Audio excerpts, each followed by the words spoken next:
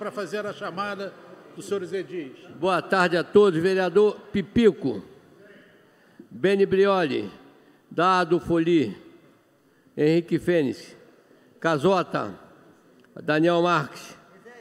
Ih, Daniel está aí. Daniel, Douglas Gomes. Douglas. Emanuel Rocha, presente. Fabiano Gonçalves. Presente. Hum. Douglas Gomes. Douglas Paulo Eduardo Gomes. Douglas Gomes de Gomes. Jonathan Anjo.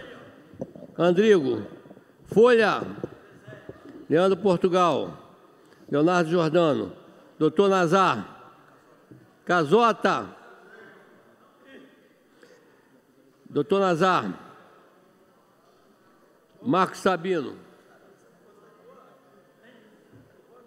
Cal. Paulo Eduardo Gomes.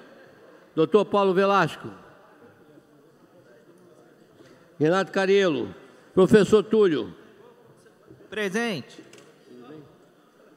Um, dois, três, seis. Senhor presidente, nove vereadores responderam a chamada, senhor presidente. Nove vereadores. Havendo quórum regimental com a proteção de Deus, estão abertos nossos trabalhos. Convidar aqui o companheiro e vereador Fabiano Gonçalves para fazer uma leitura no trecho bíblico. Se possível, todos de pé.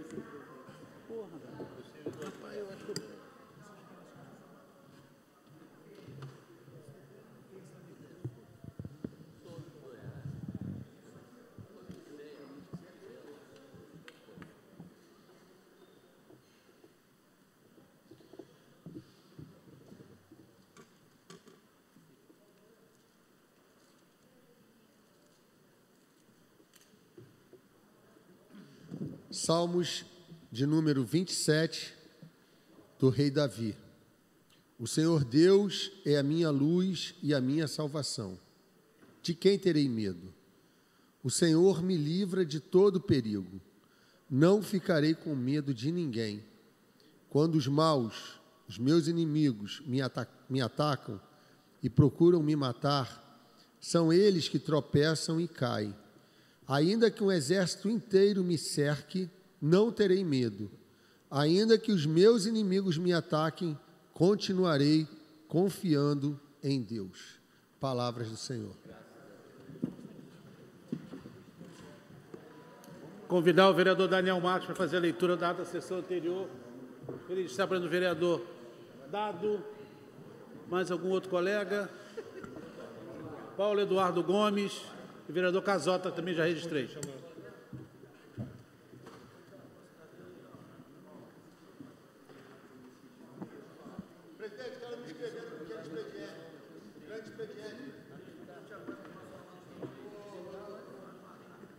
Hein, Fabiano?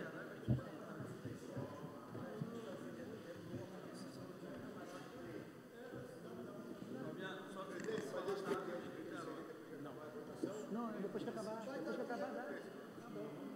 Primeiro vou votar. Vota tudo, vai sobrar tempo. Vai sobrar, vai sobrar.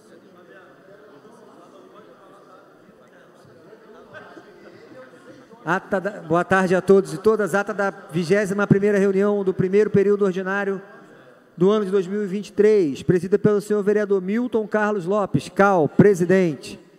Às 16 horas e 15 minutos do dia 13 do mês de abril do ano de 2023, sob a presidência do senhor vereador Cal, reuniu-se ordinariamente a Câmara Municipal de Niterói. Primeira e segunda secretarias foram ocupadas, respectivamente, pelos senhores vereadores Emanuel Jorge Mendes da Rocha e Dado, o segundo a convite. Além dos vereadores, responderam à chamada nominal os seguintes senhores vereadores: Pipico, Henrique Fênix, Folha, Leonardo Jordano, Sabino, foram considerados a presença seguintes senhores vereadores: Beni Brioli, Casota, Daniel Marques, Douglas Gomes, Fabiano Gonçalves, Jonathan Anjo, Andrigo de Carvalho, Leandro Portugal, Paulo Eduardo Gomes, Doutor Paulo Velasco, Renato Cariello e Professor Túlio.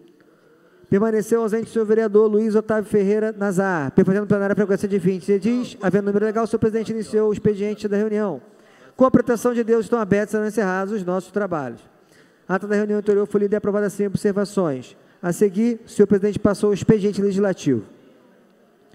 Leis encaminhadas as indicações 793, 794, 795, vereador Douglas, 796, 9798, vereador Jonathan, 99800, vereador Daniel Marques, 801 2345 até o 820. Vereador Pipico. Lidos e aprovadas as moções 423, vereador Sabino.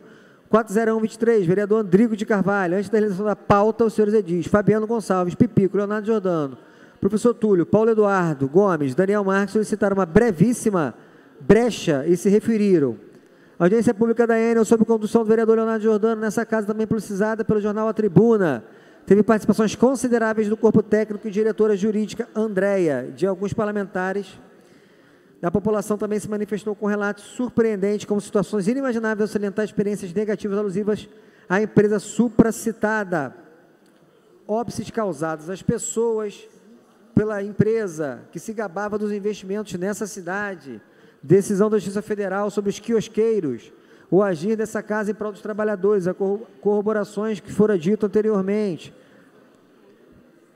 unidades da rede de ensino, falta de regularização no corpo de bombeiro, rebate das instaurações e inquéritos do Ministério Público, foram lidos e comentados pelo Edil Paulo Eduardo Gomes. O Edil contextualizou a fábula da tartaruga e do escorpião, o CPI da EMUSA, de autoria da oposição desse parlamento, que continuava insistindo nas sete assinaturas, para assim concretizá-la, pois até o momento havia cinco, e deveriam estar no portal da transparência da EMUSA a função parlamentar de suas prerrogativas no que fosse a CPI alcançada subserviência da base ao executivo. Em seguida, a intervenção dos vereadores Marcos Sabino e Douglas Gomes se pronunciaram numa parte. Votação dos requerimentos. 199, 21, Douglas. Discutido pelo autor e, e pelos vereadores Daniel Marques, Renato Cariello, Paulo Eduardo. Aprovado. Com justificativo de voto, vereador Casoto Daniel. Requerimento 32, vereadora Bene, 84, vereador Douglas Gomes, 93, autoria do vereador professor Túlio. Todos rejeitados. Requerimento 87, Aprovado. Requerimento 91, vereador Leonardo Jordano. Aprovado. Requerimento 92, vereador Daniel Marques. Discutido pelo autor. Requerimento 088. Autoria do vereador Adriano Folha. Retirado de pauta pelo autor. 183. Requerimento 101. Autoria da Comissão Permanente de Meio Ambiente.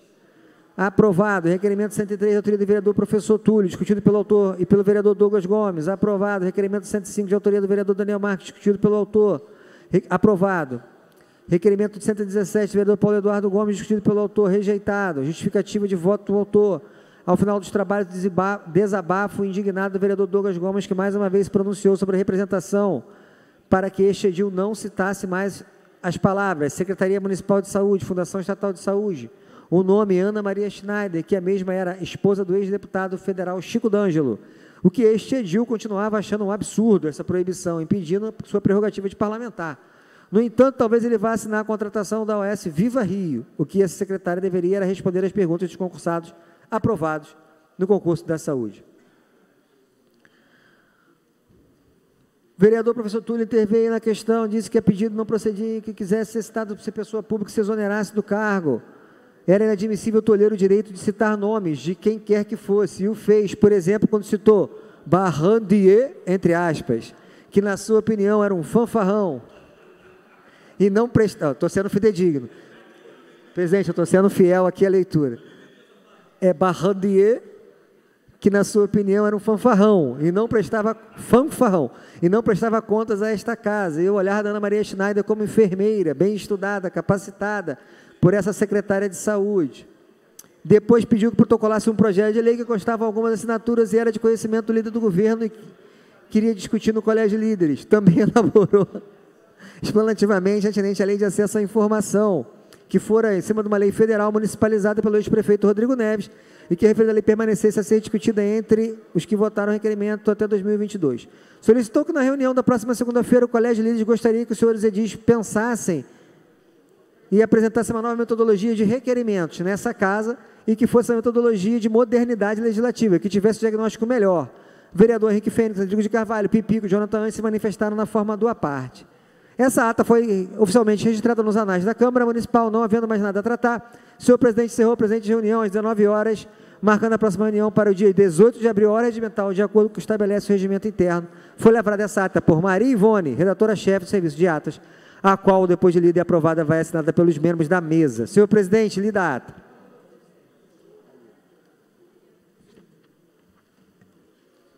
Registrar para o vereador Fênix da vereador Casório, já fiquei, do vereador Marcos Sabino, Vereador Renato Cariello. Mais algum colega? Carrielo, desculpe. Vereador Jonathan Anjo. Em votação, a ata. Vereadores que aprovam permaneçam como estão aprovados. Convidar o vereador Emanuel Rocha para fazer a leitura da pauta do dia de hoje. Boa tarde a todos. Oi.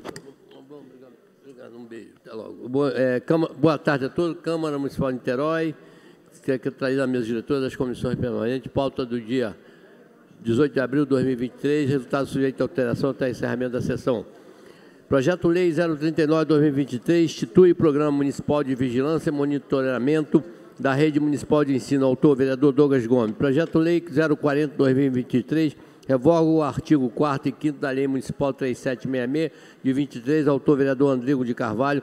Projeto Lei 041-2023 dispõe sobre horário de trabalho especial aos servidores estatutários do município de Niterói das outras providências. Autor, vereador Folha. Projeto Lei 042-2023 assegura os alunos ou alunas com deficiência, síndrome de doenças raras na rede municipal de Niterói prioridade no procedimento de matrícula e garantia de vaga próxima à sua residência. Autor, vereador Folha.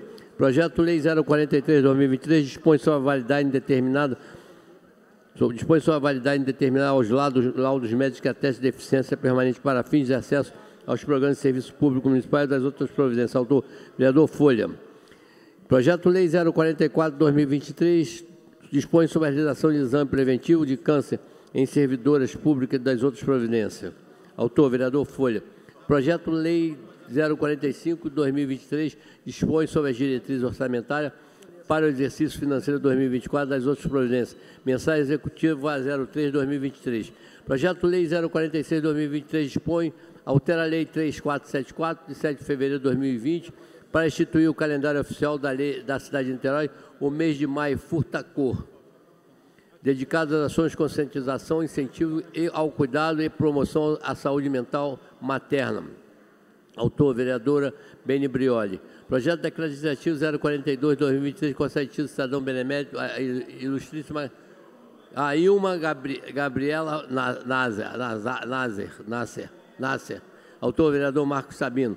Indicação 821-2023 sugere o Poder Executivo providência para a construção de três quebra-molas no endereço da rua Sapinto, em frente ao número 4, 926 Barreto. Autor, vereador Milton Cal. Indicação 822-2023 dispõe Poder Executivo colocação de tráfego calme na Almeida Carolina, na Alameda Carolina e Caraí. Autor, vereador Paulo Eduardo. Indicação 823-2023 sugere o Executivo através do órgão competente profidencia varreção na limpeza toda a extensão da rua Paulo Alves, autor vereador Douglas Gomes. Indicação 824, sugere o Poder Executivo desenvolver a instrução da Caixa de Esgoto da rua Doutor Custódio Estevo, Santa autor vereador Dato Voli. Indicação 825, 2023, sugere a Prefeitura Niterói que faça a reforma do campo futebol Palmeiras Fonseca, autor vereador Leonardo Jordano. Indicação 826-2023, sugere ao Poder Executivo providenciado junto por uma ordem competente, serviço de troca de lâmpada, poste na energia na Travessa Odete. Autor, vereador Joana Anjos. Indicação 828-2023, sugere ao Poder Executivo através do órgão competente, colocação no Boca de Louro na Avenida Doutor Lúcio Rodrigues, Picanço, altura do 330, Itaipu, autor, vereador Daniel Marcos. Indicação 828-2023, sugere ao Poder Executivo através do órgão competente, capina, colocação através do campinho localizado na estrada, fazendo sapê. Autor vereador Daniel Marques, indicação 83 a 2003, sugere ao Poder Executivo que providencie a pavimentação asfalto, saneamento básico em toda a extensão da rua Osman Correia da Silva, Itaipu, autor vereador Emanuel Rocha. Indicação 831, solicita ao Poder Executivo Municipal providencie pavimentação asfalto, saneamento básico, toda a extensão da Avenida 7, autor vereador Emanuel Rocha. Indicação 834, Solicito o Poder Executivo que providencie pavimentação asfalto, saneamento bairro, toda a extensão da rua jornalista Antônio Rodrigues, autor, vereador Emanuel Rocha. Indicação 837-2023, sugere ao Poder Executivo medidas para garantias do cumprimento do cronograma de obras de e pavimentação do Engenho do Mato. Autor, vereador professor Túlio. Indicação 839, sugere Poder 2023, sugere Poder Executivo Municipal através do órgão competente Precisa solicitar a construção de sarjeta na rua Benjamin Costão, autor vereador Renato Cariello, indicação 842, sugere Poder Executivo Municipal através do órgão competente. Seja solicitar a providência contra a capina Rosadeira Limpeza, atravessador, autor vereador Renato Cariello, indicação 850, sugere ao Poder Executivo Municipal, através do órgão competente, que seja solicitada providência contra a capina, roçadeira de limpeza, extensão da rua F. Autor, vereador Renato Cariello. Indicação 851-2023, sugere ao Poder Executivo Municipal junto à Anitrans, processo de estudo técnico, colocação de sinalização semáforica, semáforica na, na rua Marquês de Paraná. Autor, vereador Leandro Portugal. Indicação 852, sugere ao Poder Executivo Municipal Sugere a Prefeitura de Niterói fiscalizar a falta de ônibus que geram lotação e longas esperas pela aviação brasileira. Autor, vereador Leonardo Jordano. Indicação 853, sugere ao Poder Executivo implantação de hortas comunitárias em áreas do município de Niterói, além da escola pública. Autor, vereador Daniel Marques. Indicação 858, sugere ao Poder Executivo através do órgão competente. Realização de obras e serviços de capê mensual toda a estrada Engenheiro Pacheco Carvalho. Penutivo, autor, vereador Daniel Marques. Indicação 862, sugere ao Poder Executivo Municipal, através do órgão competente, que seja realizado obras de serviço de recapeamento do asfalto na estrada Alcebi de Espino, Penutiba, autor vereador Daniel Marques, indicação 863, sugere ao Poder Executivo Municipal junto ao órgão competente que seja feita a reforma da área compreendida pelo campo, incluindo o antigo vestiário, alambrado, implementação da grama sintética no comunidade do Palácio Autor Vereador Casota, indicação 864-2023, sugere ao Poder Executivo pintura asfáltica pedestre na rua Everton Xavier, sinal do CIEP, Vaza das Moças, ao sul, vereador Pipico.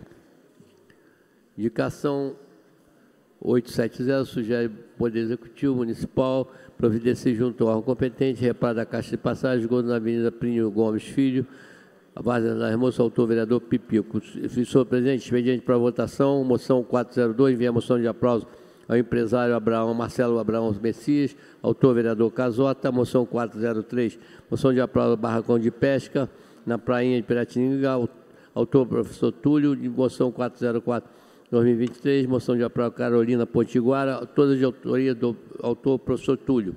Senhor presidente, pedido para votação. Em votação de moções, vereadores que aprovam permaneçam como estão aprovados. Antes da iniciação, queria convidar todos, infelizmente, um minuto de silêncio, vereador vítima dos Covid do nosso país. Passou, presidente. Ah, presidente.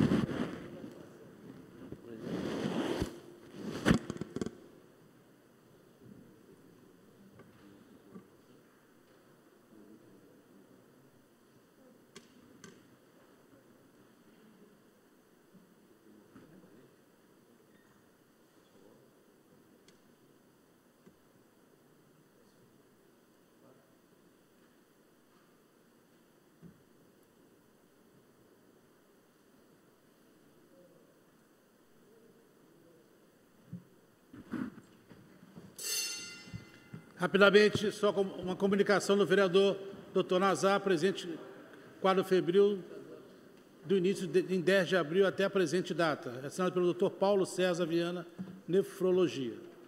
Vou pular o requerimento do vereador, do vereador Leonardo Jordano, que ele não se encontra presente na sessão.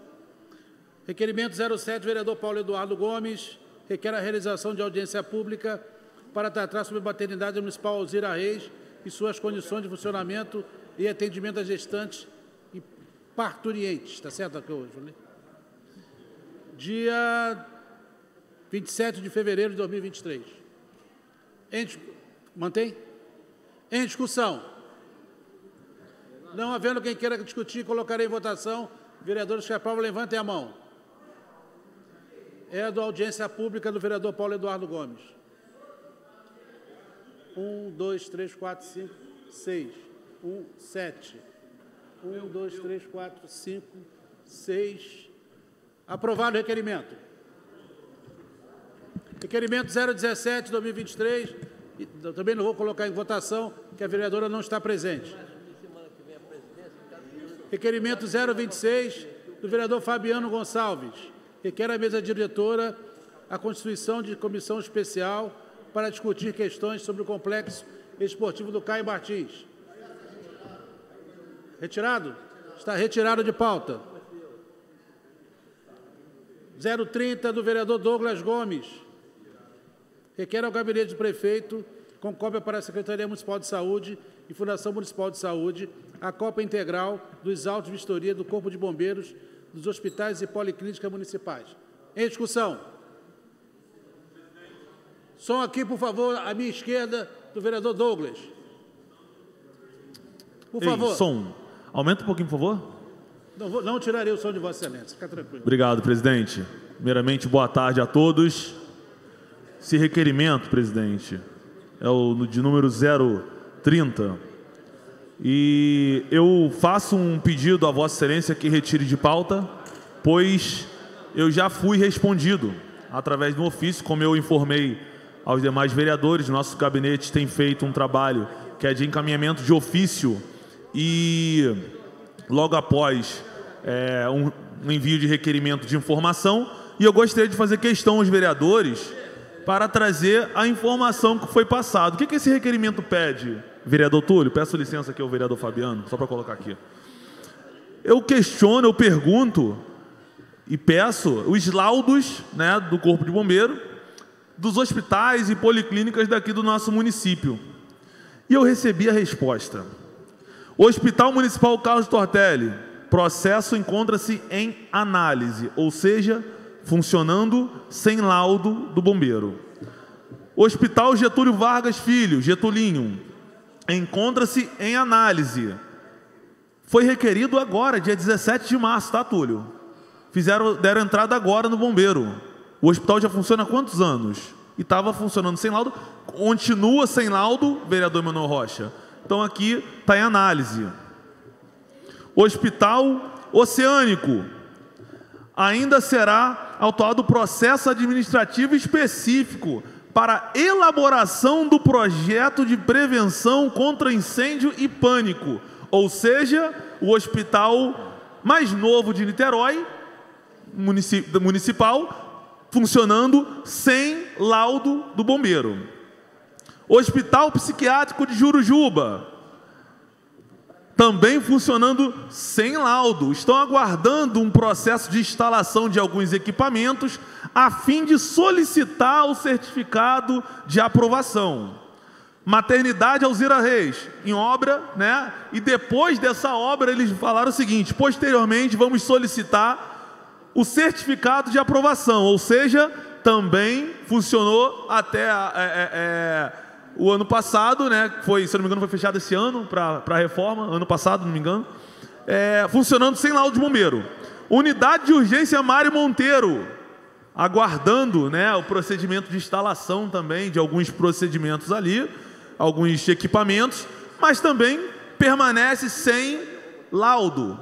Policlínicas, presidente. Policlínica Regional Carlos Antônio da Silva, fica ali em frente ao Sabão. 2023. Aguardando também um projeto, a instalação de equipamentos, para que depois possam solicitar o certificado de aprovação. Policlínica Regional Sérgio Arouca, da mesma forma, funcionando sem certificado de aprovação.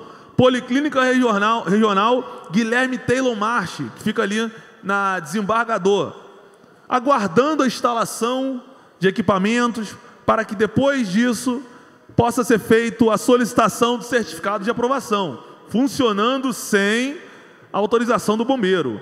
Policlínica do Largo, mesma coisa, em análise, presidente. Já deram entrada lá no Corpo de Bombeiro e está em análise. Policlínica Regional de Itaipu, mesma coisa, aguardando, aguardando atendimento. Por que, que eu estou sendo, parece eu estou sendo repetitivo, mas eu acho importante a população que está nos assistindo entender, vereador Renato Carillo, que as unidades de saúde do nosso município estão funcionando sem o laudo do bombeiro. Então, Policlínica de Itaipu, aguardando a certificação, né? Não deu nem entrada. Policlínica Regional, Renato Carillo, da Engenhoca, já deu entrada no laudo do bombeiro, só que está em análise. Policlínica Regional é, do Barreto, Genhoca, coisa. Agu- aguardando a instalação de equipamentos para que depois disso possa solicitar o certificado de aprovação. Não deram nem entrada. Policlínica Regional de Piratininga, aguardando também o laudo, aguardando instalações para que depois possa dar entrada no certificado de aprovação. Policlínica eh, de Especialidades e Atenção de Saúde da Mulher, Malu Sampaio, mesma coisa, presidente sem o laudo do bombeiro, aguardando certificado de aprovação. Policlínica, especialidade Silvio Picanso, também sem laudo do bombeiro, sem o certificado de aprovação. Esse documento foi encaminhado para mim no dia 10 de abril, assinado pelo senhor Ramon, coordenador do Núcleo de Engenharia e Arquitetura. Ou seja, todas as nossas unidades de saúde do nosso município estão sem o laudo do bombeiro. Vereador claro. Douglas, o vereador Emanuel disse que o bombeiro está trabalhando pouco. É. Porque não entrega os laudos. Então, eu li, eu li 20 unidades. Dessas 20, a prefeitura deu entrada em quatro, cinco, que estão de fato demorando. Mas as outras, as outras 15, vereador Dado, as outras 16 unidades, sequer deram entrada no corpo de bombeiro. Sequer. Vereador, dá uma parte entrada- rapidamente. A parte concedida, vereador. Bem, bem rápido. É, primeiro porque eu fiz um requerimento muito parecido com o de Vossa Excelência, então eu gostaria de que fosse registrado em ata que eu estou retirando aqui o meu requerimento. Qual é o número, vereador Túlio? É o requerimento 55 de 2023. Faz praticamente as mesmas perguntas que o requerimento do, do vereador Douglas. Então, como já está sendo respondido aqui, eu estou retirando. E eu queria fazer uma observação importante sobre esse certificado do bombeiro. Não sei se vocês assistiram, mas eu recomendo que assistam a série da Boate Kiss. É, por que, que vale a pena? Porque não é só uma série dramática. É uma série que mostra todas as questões burocráticas relativas à boate. E por que, que eu sempre cito essa boate aqui? Porque o Corpo de Bombeiros foi, antes do acidente, antes de, de ter acontecido o que aconteceu, e falou para o dono da boate: essa boate não pode funcionar. Vocês precisam fazer uma intervenção para que o certificado do bombeiro seja garantido. Então, o que, que o bombeiro diz? O bombeiro chega lá e fala assim: olha, se tiver um incêndio aqui, não vai dar para as pessoas fugirem. Então, vocês precisam de uma obra, de uma intervenção. Então, por que, que a gente está trazendo é, a discussão da boate para cá? Porque as escolas do município, e aí, vereador Fênix, são 94 escolas no município. Dessas 94, apenas três têm o certificado de bombeiro. 91 não tem. O que, que a gente quer dizer com isso? Que se tiver qualquer problema nas nossas escolas, se tiver incêndio nas nossas escolas, ou se tiver qualquer outro problema que é, a gente vai precisar evacuar a escola, só três escolas, o bombeiro chegou e falou assim: olha, essa escola está preparada. Então, assim, isso é grave. E aí, quando o bombeiro chega lá, ele fala: olha, vocês têm que fazer intervenção. Só que a intervenção não está sendo feita, não foi feita nas escolas. E é por isso que provavelmente esses laudos estão em análise. Em análise, porque o bombeiro chegou e falou: você precisa fazer essa obra, aquela obra, para que a gente dê o certificado. Aí a prefeitura não faz, aí o bombeiro deixa em análise, vai ficando em análise. Só que a, a importância disso, gente, a gente está em 2023, a gente está no século 21. Não dá mais para a gente fazer as coisas de qualquer maneira. Não dá mais para a gente empurrar com a barriga. A gente está falando das nossas crianças. E a gente está falando, infelizmente, de escolas que podem pegar fogo. Por exemplo, a Escola Municipal Santos Dumont, semana passada, pegou fogo. Eu fui lá. Assim que eu soube, eu fui lá. Tá o caos na escola. O caos na escola. Ainda bem que nada aconteceu com nenhum aluno, com nenhum profissional da educação. Mas a escola não tem certificado. Então, vamos acelerar esse processo. Então, o, o requerimento é sobre saúde, mas eu queria trazer aqui prédios públicos onde nós atendemos a nossa população precisam ter o certificado do bombeiro. Obrigado pela parte, vereador. Vereador, é, Vossa Excelência tem um relatório das escolas que estão sem laudo? Então Sim. eu já peço que retire de pauta o meu requerimento de número 31, que fala é, relacionado às escolas, presidente. Já Então peço que o vereador Túlio me encaminhe, eu também te encaminharei. 31. encaminharei. Só um minutinho. Taquigrafia para registrar que o requerimento 31 do vereador Douglas Gomes está sendo retirado Isso. a pedido do autor e o 55 a pedido do, do, do também autor, professor Túlio. Isso, eu vou compartilhar com os demais parlamentares esse- essa resposta. Presidente, para concluir, nós temos unidades daqui do nosso município, unidades de saúde, vereador Daniel, que estão sem laudo. Como eu acabei de ler uma a uma. Carlos Tortelli, Getulinho, Orense de Freitas, Hospital Oceânico, Hospital Psiquiátrico, Maternidade Alzira Reis, Unidade Mário Monteiro, Policlínica Carlos Antônio, é, Carlos Antônio da Silva, Policlínica Regional Sérgio Arouca, Policlínica Regional Guilherme Taylor, Policlínica Regional do Largo, Policlínica Regional de Itaipu, Policlínica Regional da Engenhoca, Policlínica Regional do Barreto, Policlínica Regional de Piratininga, Policlínica é, de Especialidade de Atenção da Mulher, Malu Sampaio, e a Policlínica de Especialidade Silvio Picanço. São 10 unidades, todas funcionando sem o laudo do bombeiro, presidente. E vale lembrar, Já falei, já. isso não começa agora. Estamos falando de um governo que está no poder da cidade há quanto tempo, vereador Daniel? Há, há 10 anos, pelo menos. É o mesmo grupo político.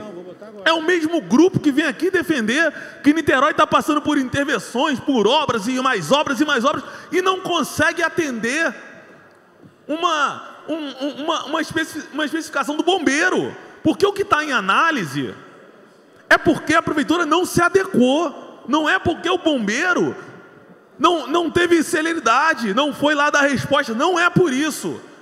Teve uma vistoria, o bombeiro falou: ó, essa escada não pode estar aqui. Estou dando exemplo, tem que retirar. A prefeitura não retira, não atende a orientação do corpo bombeiro. Com base nisso, não é respondida é, no que diz respeito ao certificado de aprovação. E não estou falando só das pessoas doentes. Como foi dito, as escolas do município estão sem laudo. Será que a gente está entendendo a seriedade? Há três semanas nós vimos um colégio particular pegar fogo. Há três semanas. Na Gavião Peixoto, e graças a Deus foi no domingo. Não tinha aula, não tinha praticamente tinha ninguém na escola. Agora, meus amigos, a gente está discutindo que as escolas do município, os hospitais da cidade, não têm laudo, são as nossas crianças. São as pessoas que estão sendo consultadas nos hospitais. Como agora, Carlos Tortelli lotado, porque não tem médico suficiente para atender a população. Isso é sério, presidente. Isso é grave. Eu retirei o meu requerimento de informação de pauta porque eu já fui respondido. Mas nós precisamos, vereador Túlio, vereador Daniel, pressionar para que o governo se movimente. Para que o governo dê uma solução imediata. Eu duvido, vereadores aqui que são donos de empresas, eu duvido se você não apresenta o laudo do bombeiro, você pode funcionar. Você não pega o alvará, o vereador Fabiano está completando. Agora, o governo é um tigrão com o empresário e uma tchutchuca com ele mesmo. Porque ele pode pular a própria lei. Ele pode abrir mão da própria lei. Mas o empresário não. E aqui a gente não está consignando nenhum direito a mais ao empresário, tem que cumprir. Mas o governo deveria ser o primeiro, o primeiro a cumprir todos esses quesitos, presidente. Então fica essa cobrança ao plenário e a gente precisa, de fato, talvez até montar uma comissão para pressionar.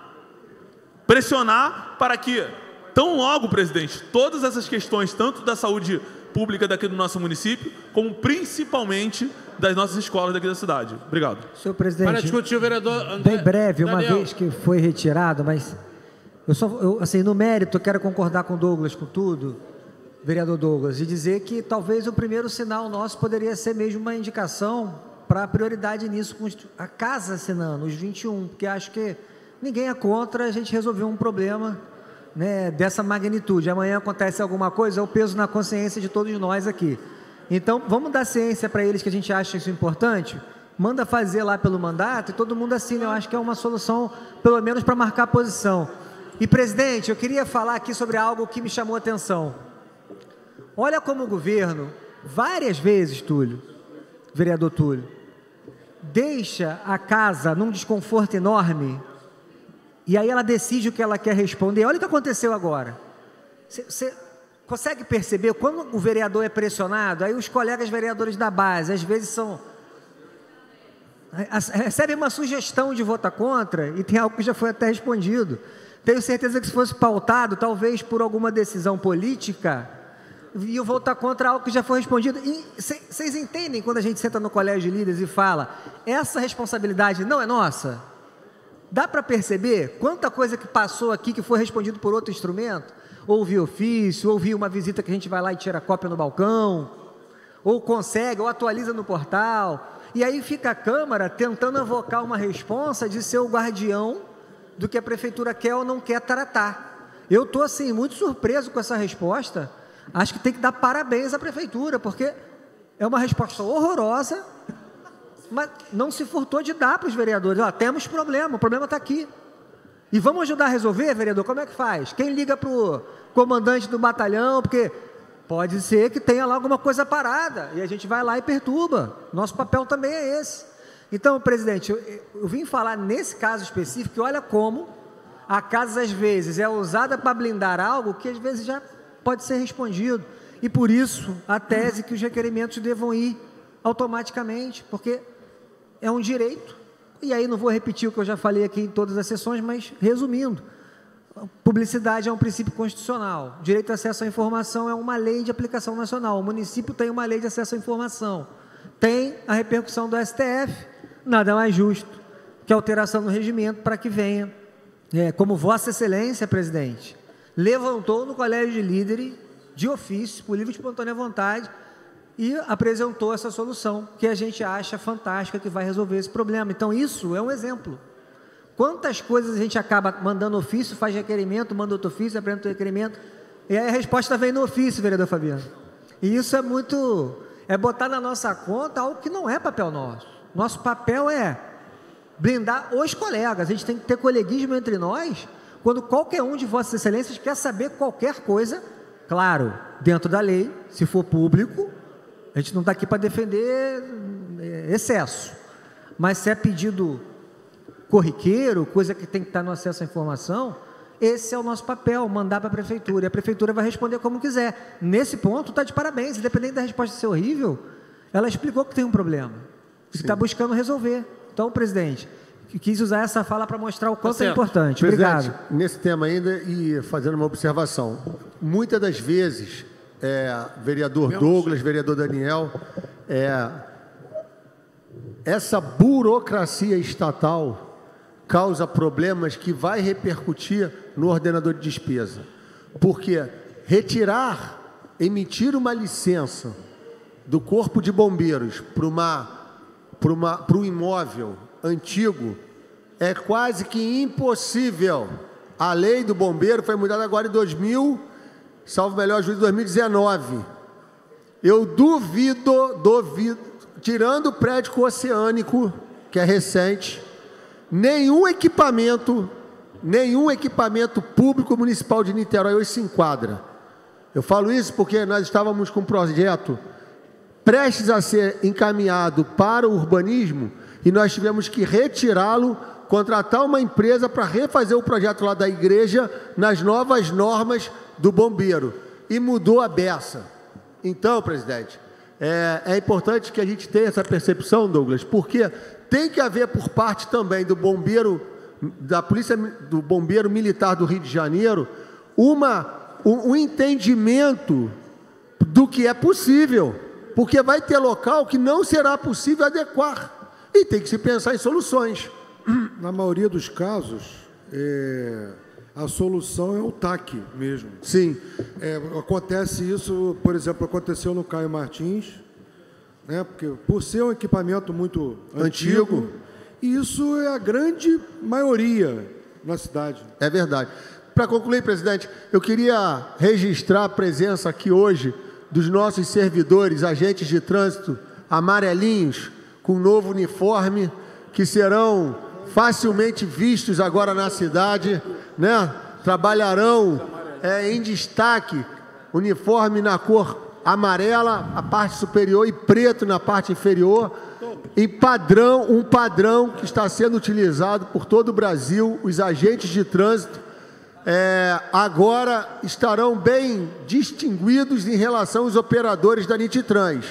Os operadores da Nititrans continuam com aquele colete branco com as listras laranjas e os nossos nobres servidores estatutários, agentes de trânsito do município, estarão ali devidamente reconhecidos com essa cor vibrante desse amarelo ouro, né? Aonde nós teremos total carinho por vocês e temos certeza que não apenas os uniformes, mas todo o EPI, toda a estrutura para vocês desempenharem o trabalho de vocês vai ser vai ser uma causa de luta dessa casa. Parabéns a todos na pessoa do inspetor Wagner. Eu saúdo a todos os 30 servidores agentes de trânsito do município Fabiano, de Niterói. a parte, vereador.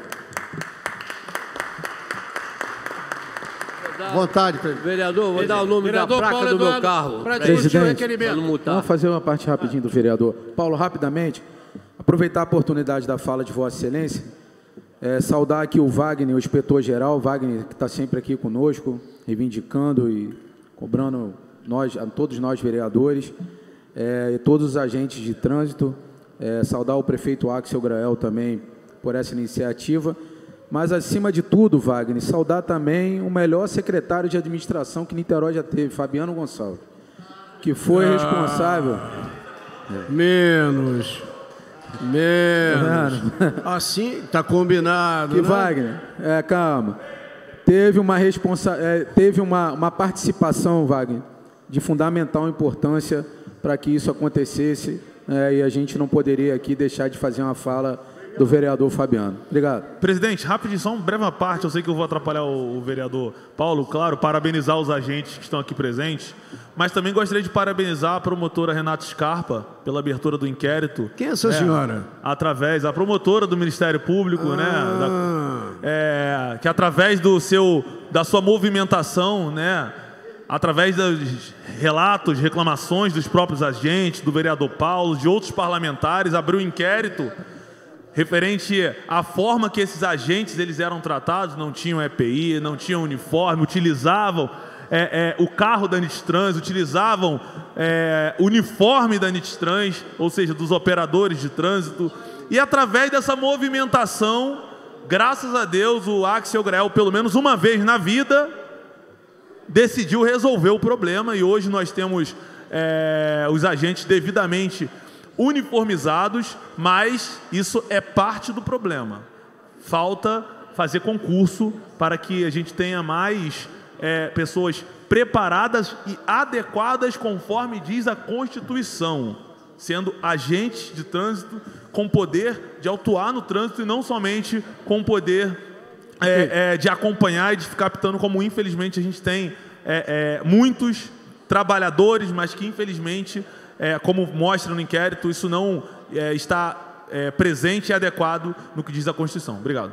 Vereador Paulo Eduardo, para discutir o. Presidente, vereador antes de entrar no assunto que é a segurança e corpo de bombeiro nas unidades de saúde e hospital, eu gostaria de, a parte, é, a rasgação de seda, que, que faz com que muita gente da população ache que política é mentiroso e puxa o saco um do outro, etc.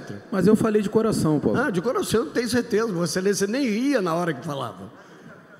Mas foi boa a intervenção, a intervenção do vereador eh, Fabiano Gonçalves, porque a gente fica sabendo que a cor amarela é uma cor padronizada no Brasil inteiro, não é isso?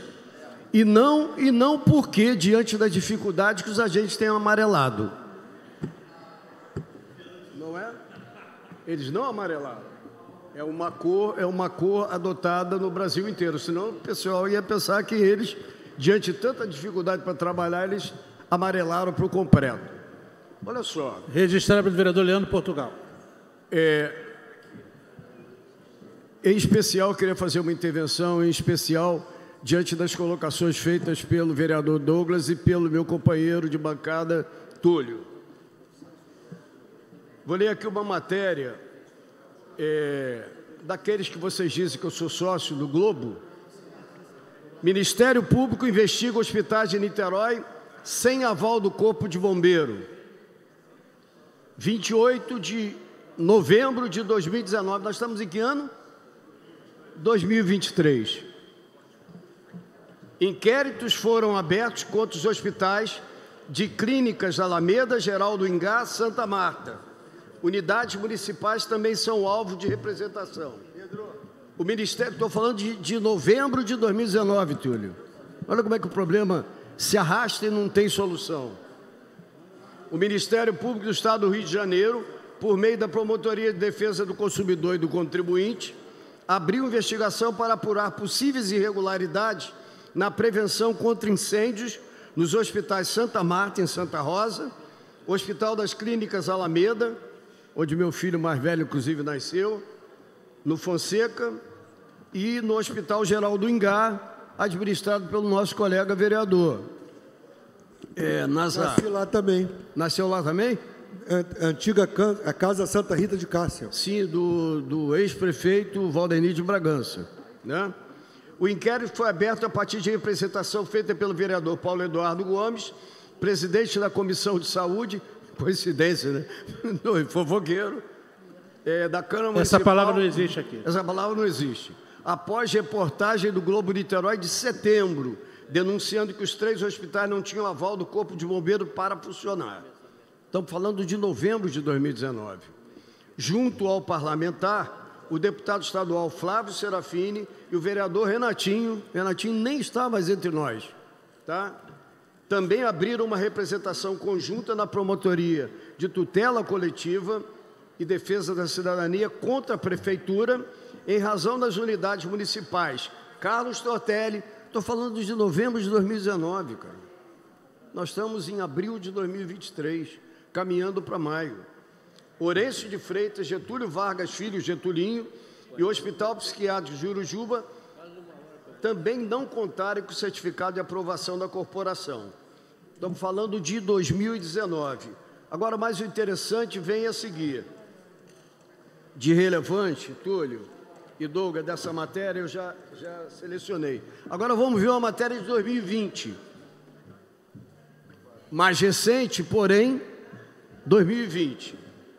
Ela é uma matéria também em sociedade com meus sócios do Globo Niterói.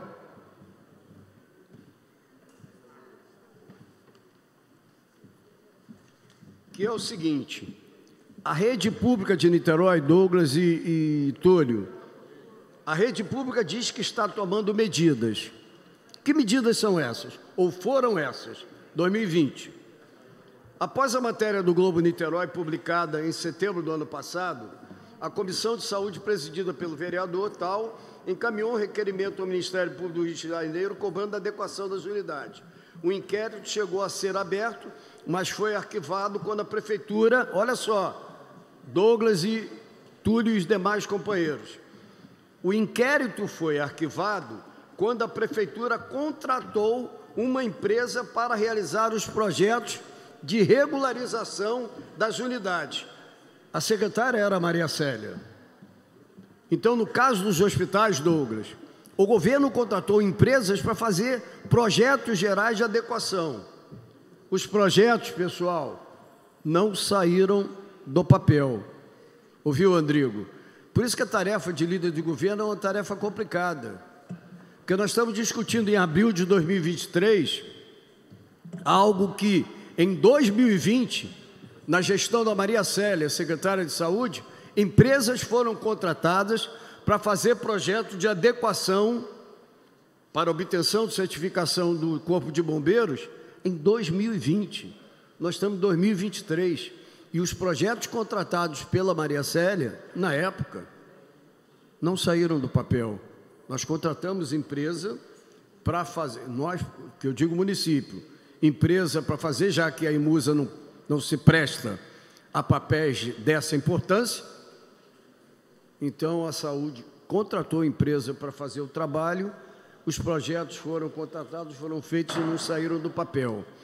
Então, na verdade, na verdade, aquilo que é denunciado como se fosse algo que estivesse acontecendo agora, não, está acontecendo há muito tempo e apesar de todos os inquéritos e das pressões, as coisas não saem do papel e a gente continua tendo.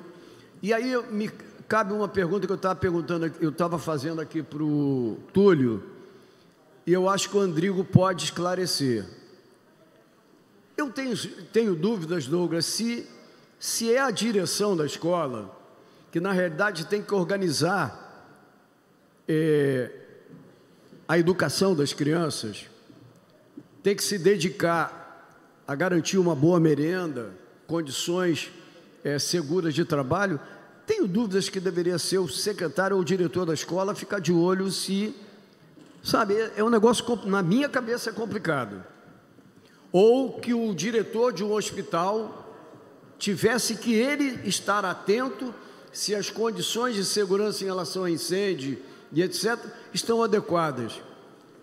Ou, e aí é um pedido que eu faço ao líder do governo, porque eu mesmo não tenho a resposta, a quem caberia, em nome do governo, cuidar da segurança contra incêndio e demais aspectos de segurança para as unidades públicas do governo como um todo, sejam de saúde e educação? Seconcer? Não sei. Emusa? Não sei. Secretaria de Governo? Não sei. Defesa Civil? A gente precisa saber, porque na minha cabeça é muito complicado no ambiente que a gente está vivendo. Por exemplo, com ameaças e ataques de maluco querendo matar criança na escola, atacar professor, etc. Além de todas as preocupações é, político-pedagógicas que uma direção de, de escola tem que ter, ou uma unidade de saúde tem que ter, tem que também se preocupar com algo que poderia, por exemplo, ser tratado pela Defesa Civil. Se a Defesa Civil tem condições, eu estou pensando alto aqui, se a Defesa Civil tem condições de verificar a segurança de uma determinada instalação, de uma determinada casa, por que não a Defesa Civil trabalhar e articular em nome do governo a segurança estrutural das instalações, é, tanto da saúde quanto da educação. Lembrando que o secretário de Defesa Civil é um coronel do Bombeiro, o coronel Bombeiro. Wallace. Ok. É um currículo excepcional, trabalho é, é- é simplesmente incrível, todos os anos de corporação. Tem feito um bom trabalho, tem feito um bom trabalho à frente da Defesa Civil. Claro, é, é travado naquilo que não compete, mas eu acho, presidente, que tanto é, Vossa Excelência como presidente de- da Comissão de Saúde e o Sabino, presidente da, da Comissão de Educação, e o Túlio, vice-presidente, acredito que a gente possa fazer uma- um um convite ao Coronel Wallace e trazê-lo para esse debate, para que ele possa dar a sua visão é, é, do que cabe, do que compete a ele e a gente possa fazer as devidas cobranças. Peço apoio do líder do governo, hein, Andrigo? Para que a gente faça essa conversa com o Coronel Wallace, que é bombeiro militar, é coronel do Corpo de Bombeiro, é secretário de Defesa Civil. Eu acho que ele é a pessoa ideal e mais qualificada para que a gente possa conversar sobre eh, esse assunto. Eu já, já estive com ele, só que o ideal é ele, ele, ele, ele vir nessa casa para que a gente consiga conversar com os demais vereadores sobre exclusivamente desse tema dos laudos, eh, tanto dos hospitais como das escolas.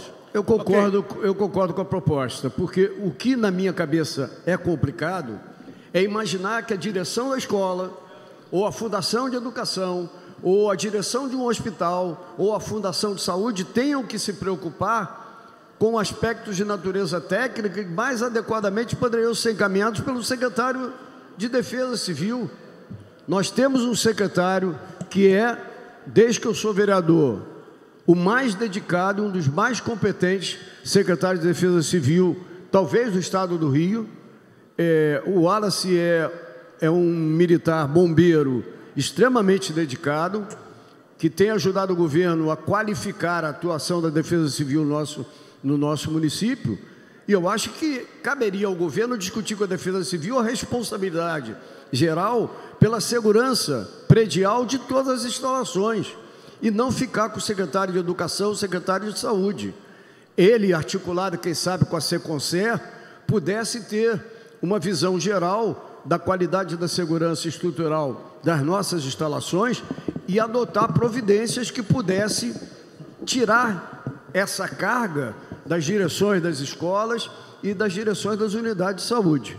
Vereador Continua a discussão, Eduardo. vereador Marcos Sabino para discutir. É, eu vou, eu, eu me comprometo em entrar em contato com, com o secretário Wallace, com quem eu tive uma relação muito próxima enquanto presidente da Fundação de Arte, e vou conversar com ele sobre isso. Eu acho muito pertinente a nossa preocupação, que a preocupação do líder Andrigo também, a gente ter uma posição o mais breve possível sobre esse assunto, ok? É, a única coisa que eu acho é o seguinte: o Wallace não vai fazer nada se o governo não definir que a responsabilidade funcional por, por cuidar da segurança eh, estrutural das nossas unidades, se não for atribuído a ele de maneira organizada e estruturada, ele não vai fazer, porque ele não vai se intrometer, ele vai ficar no pedaço dele. Nós é que achamos que o governo poderia pensar em dar essa responsabilidade ao nosso secretário de Defesa Civil para que ele cuidasse de todas as instalações, para que a gente não ficasse aqui, ah, o hospital tal está com problema, etc. Ele sabe exatamente o que, que é, e já que a Corporação Bombeiros cedeu o Coronel Wallace para ele ser secretário, cabe ao governo articular com ele a maneira mais adequada dele contribuir para isso que a gente está discutindo aqui. Ok. Em votação, requerimento 030. Vereadores que aprovam, levantem a mão. Um, dois, três, quatro. Presidente, esse eu já tenho a resposta. Eu pedi para que fosse retirado de pauta. Ah, esse foi tirado? É, o 30, não, para nada não. É para pressionar o governo que não faz o seu papel. Então, retirado é por de isso que a gente tá, Por isso que a gente está discutindo, que o governo não faz, não, não, não, não faz, não dá, não se adequa ao que o bombeiro pede, a gente tem que discutir. 31, você nem então pedi para que fosse retirado o 30, porque eu já tenho a resposta, e o 31, o vereador Túlio já tem a resposta. Então por isso que eu pedi para que fosse retirado. Aí tem que votar o 35. Presidente, eu não estou Vereador- entendendo. Dois vereadores que eram tão amigos e tão aliados cotidianamente em quase todas as matérias, passaram agora a brigar em público.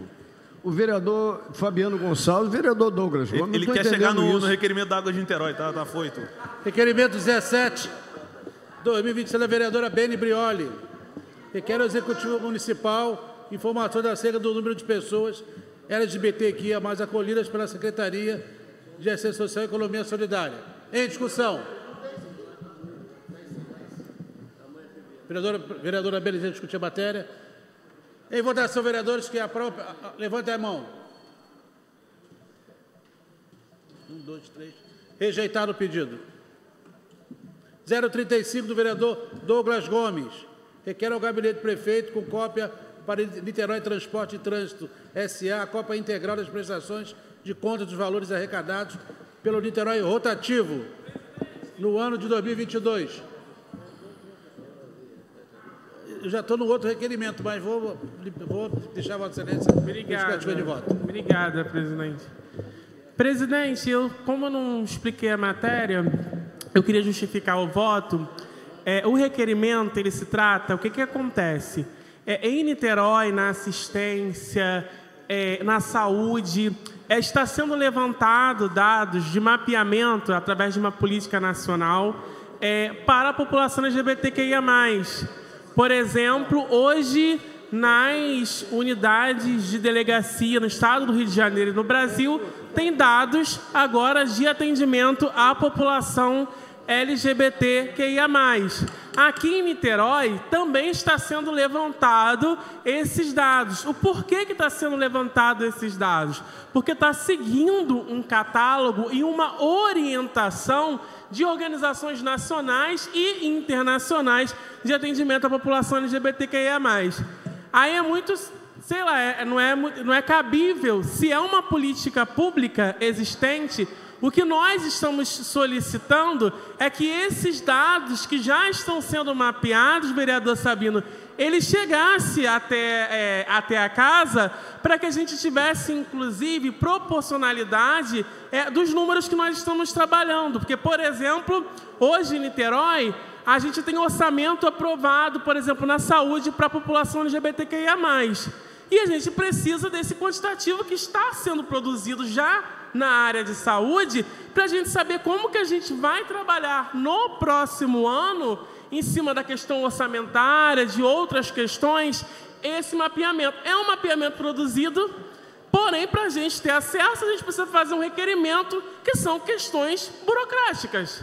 Né? Para conseguir os dados, os dados da saúde, vou fazer um requerimento para a Secretaria de Saúde, da assistência, e assim vai. É um- é- são dados que já são produzidos, já é lei.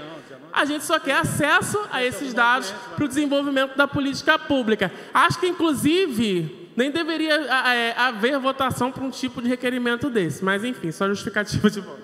035 2023, vereador Douglas Gomes, requer ao gabinete do prefeito, com cópia para Niterói Transporte e Trânsito S.A., a cópia integral das prestações de contas dos valores arrecadados pela Niterói Rotativo no ano de 2022. Em discussão, o autor.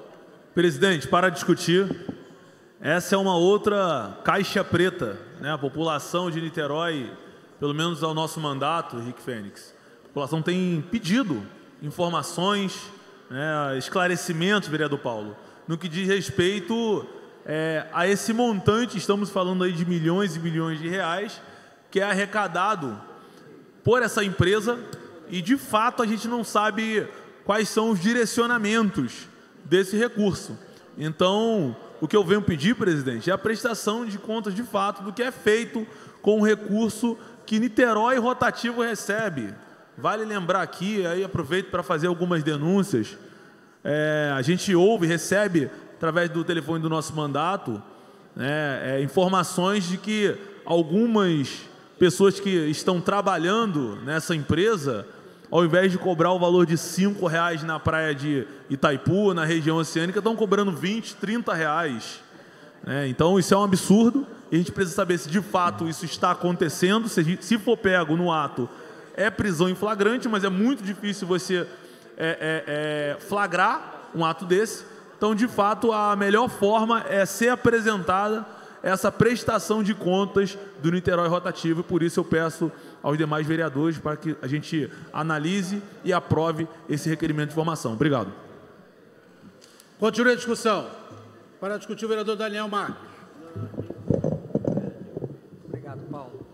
Presidente, para discutir, eu, no primeiro mandato aqui nessa casa, a gente fez um, alguns levantamentos interessantes, Douglas, que quero trocar com Vossa Excelência. A gente tem muita demanda, a gente acaba ficando tanto quanto, né, tentando eleger prioridade nessa confusão. Mas eu me lembro que a gente recebeu na época o contrato, que depois tiveram vários aditivos. E algumas coisas chamaram muita atenção. O primeiro delas é que esse contrato, Paulo, historicamente, ele foi ajustado pelo Ministério Público. Em dado momento, uma confusão danada, 97,5% do que arrecada fica com a empresa, 2,5% fica com a prefeitura. Aquilo já chamou a atenção. Falei, cara, mas 97,5% do tudo que arrecada fica com a empresa. Tá bom, mas qual é a contrapartida, né? A contrapartida institucionalizada, ali, que previa o contrato, era construir as, as famosas garagens subterrâneas. E eram três delas. E isso foi, Paulo, em que ano? Não me lembro agora, eu confundo com a gente entrou, 97 talvez, não me lembro e demorou muito para começar a cumprir a parte dela no contrato. Por isso o Ministério Público entrou e tentou fazer um arranjo. E aí depois eu não consegui mais acompanhar. Eu recebi aqui a diretora jurídica, tinha demanda dos funcionários que sofriam, não podiam, não tinham onde fazer xixi, não tinha capa de chuva, não tinha bota. Os trabalhadores, uma vez eu participei de uma manifestação com eles, a gente andou daqui até Niterói Rotativo ali perto da Cantareira, acho que ainda é lá a, a, a sede do escritório e fizemos uma manifestação lá. Então, assim, tem muita coisa que a gente precisa entender e Vossa Excelência tem razão. O niteroense quer entender é, como funciona é, esse contrato. É, é, simples. Cumpriu, não cumpriu, cumpriu quando? Ainda tem condição de trabalho? Porque hoje eu percebo, é, e Vossa Excelência deve ter aprendido muito sobre o tema, por onde passou, tinha essas reclamações de, de direito trabalhista, tinha uma questão de assédio moral na época que era grave. Os fiscais, vereador Henrique, nessa época, eles eram policiais militares da reserva que passavam apertando os caras que guardavam carro. Chegou, a gente denunciou isso. Então eu acho que é importante a gente entender em que pé que está. É aquele famoso quem não deve não teme, o contrato está aí, tem segurança jurídica, está funcionando bem, as contrapartidas foram entregues, as garagens foram entregues. Tinha previsão de cobrar também o valor da garagem, Paulo, porque tem isso, né? Eles constroem uma garagem, mas também cobram. E outro ponto que eu vejo que me incomoda muito: publica-se portarias, vereador Henrique, muito assim, rua tal, decidiu que vai ser literal rotativo. Mas, mas beleza, e aí? Mas respaldado em quê? Quem pediu? Ah, o equilíbrio econômico financeiro do contrato? A necessidade é real? Aí quando você parte para a praia, tem muita coisa que a gente que eu gostaria particularmente, eu acho que o niteroense que cobra também quer saber é, o que acontece nessa empresa. Na minha opinião, tudo que tem dinheiro público deveria ter balancete público. É justo. Não estou dizendo que a empresa não pode ter lucro de maneira nenhuma. Estou dizendo que isso tem que ser razoável e que o investimento tem que ter igual proporção para que a gente né, veja o niteroense usufruir desse serviço. Então, eu quero dizer, Douglas, que tudo que for Niterói rotativo a gente deve pautar, deve brigar por transparência e deve prestar essa conta para o niteroense que nos cobra. Quantas e quantas vezes a gente discutiu, Paulo, Vossa Excelência lembra disso? No primeiro mandato? A questão do estaciona, é, uma, não estacionamento, mas parar por 15 minutos em determinado lugar isento de cobrança. Aí, ah, mas o equilíbrio do contrato, de ter um modelo de carência para um... Chegou uma grávida dirigindo, não sei, dirigindo, uma pessoa idosa que só vai comprar um remédio na farmácia, pode, não pode? Se tiver previsão contratual, pode. Então a gente pode organizar isso para o serviço ser melhor prestado para o niteroense. Então era essa minha contribuição, vou votar a favor e eu espero que a gente consiga é, ter mais ciência de tudo que permeia Niterói Rotativo. Obrigado, presidente. Só uma parte, por favor. Lembramos que a gente tem no município uma secretaria que cuida dos estacionamentos, né, que é a SUTEM, é a Superintendência de Terminais e Estacionamento. E o que me estranha que o contrato da, da Niterói Rotativo não está sob o crivo da SUTEM. A SUTEM não tem acesso ao contrato. Ou seja, a SUTEM cuida do estacionamento das regiões oceânicas, mas Niterói Rotativo é Seconcer, desde Monas. Ela detém toda, todo o poder ali de fiscalização do contrato e a gente, como, no caso, eu estou falando aqui com propriedade que eu passei pela SUTEM, a gente não tem acesso. Então, eu voto a favor também a Vossa Excelência, e eu acho que isso é uma discussão e a gente deveria ter informação por que, que esse contrato não está sob o crivo da SUTEM, já que é uma, uma, uma secretaria que cuida especificamente do estacionamento na cidade. Para discutir, presidente.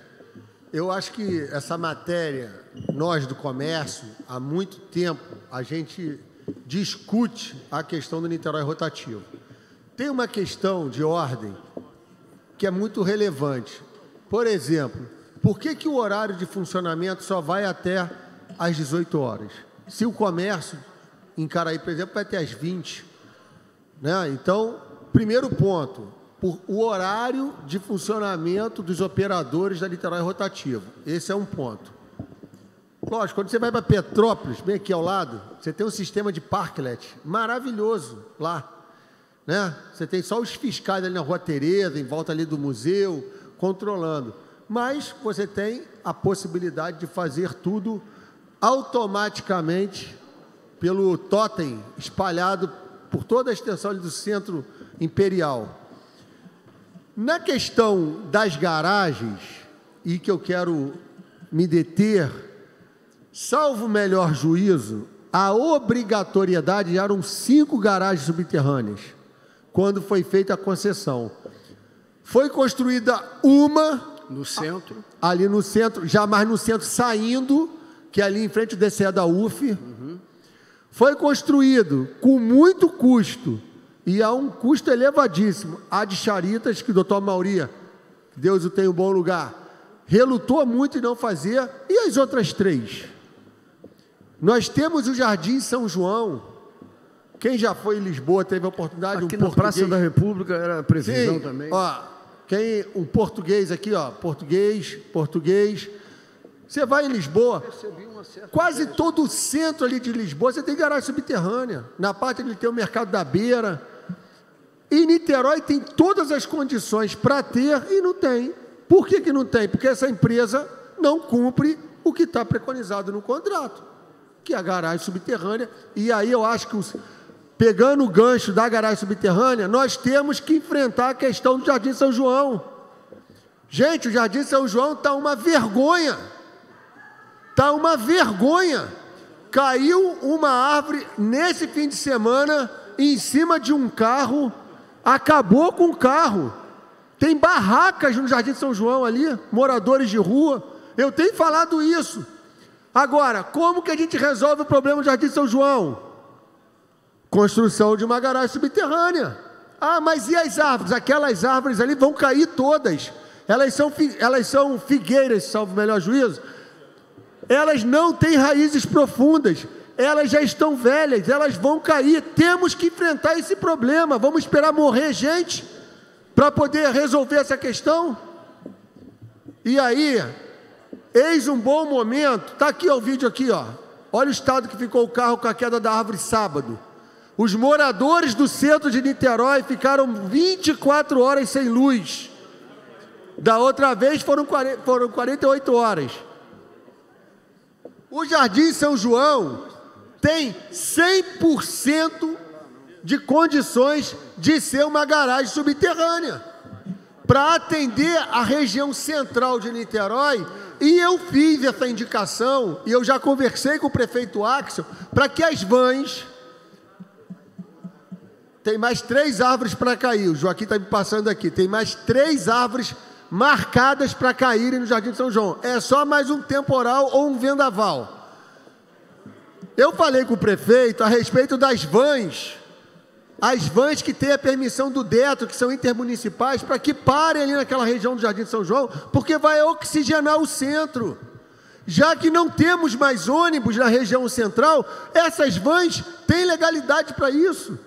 E elas podem, ao invés de ficar lá no Carrefour, longe, parar ali no entorno do Jardim de São João, com a garagem subterrânea e com as vans, eu tenho certeza que nós vamos viver dias de uma nova, de um rejuvenescimento daquela região central da cidade. Porque não há mais do que se discutir. Gente, eu frequento o centro de Niterói há mais de 23 anos, todos os dias, e as coisas não melhoram.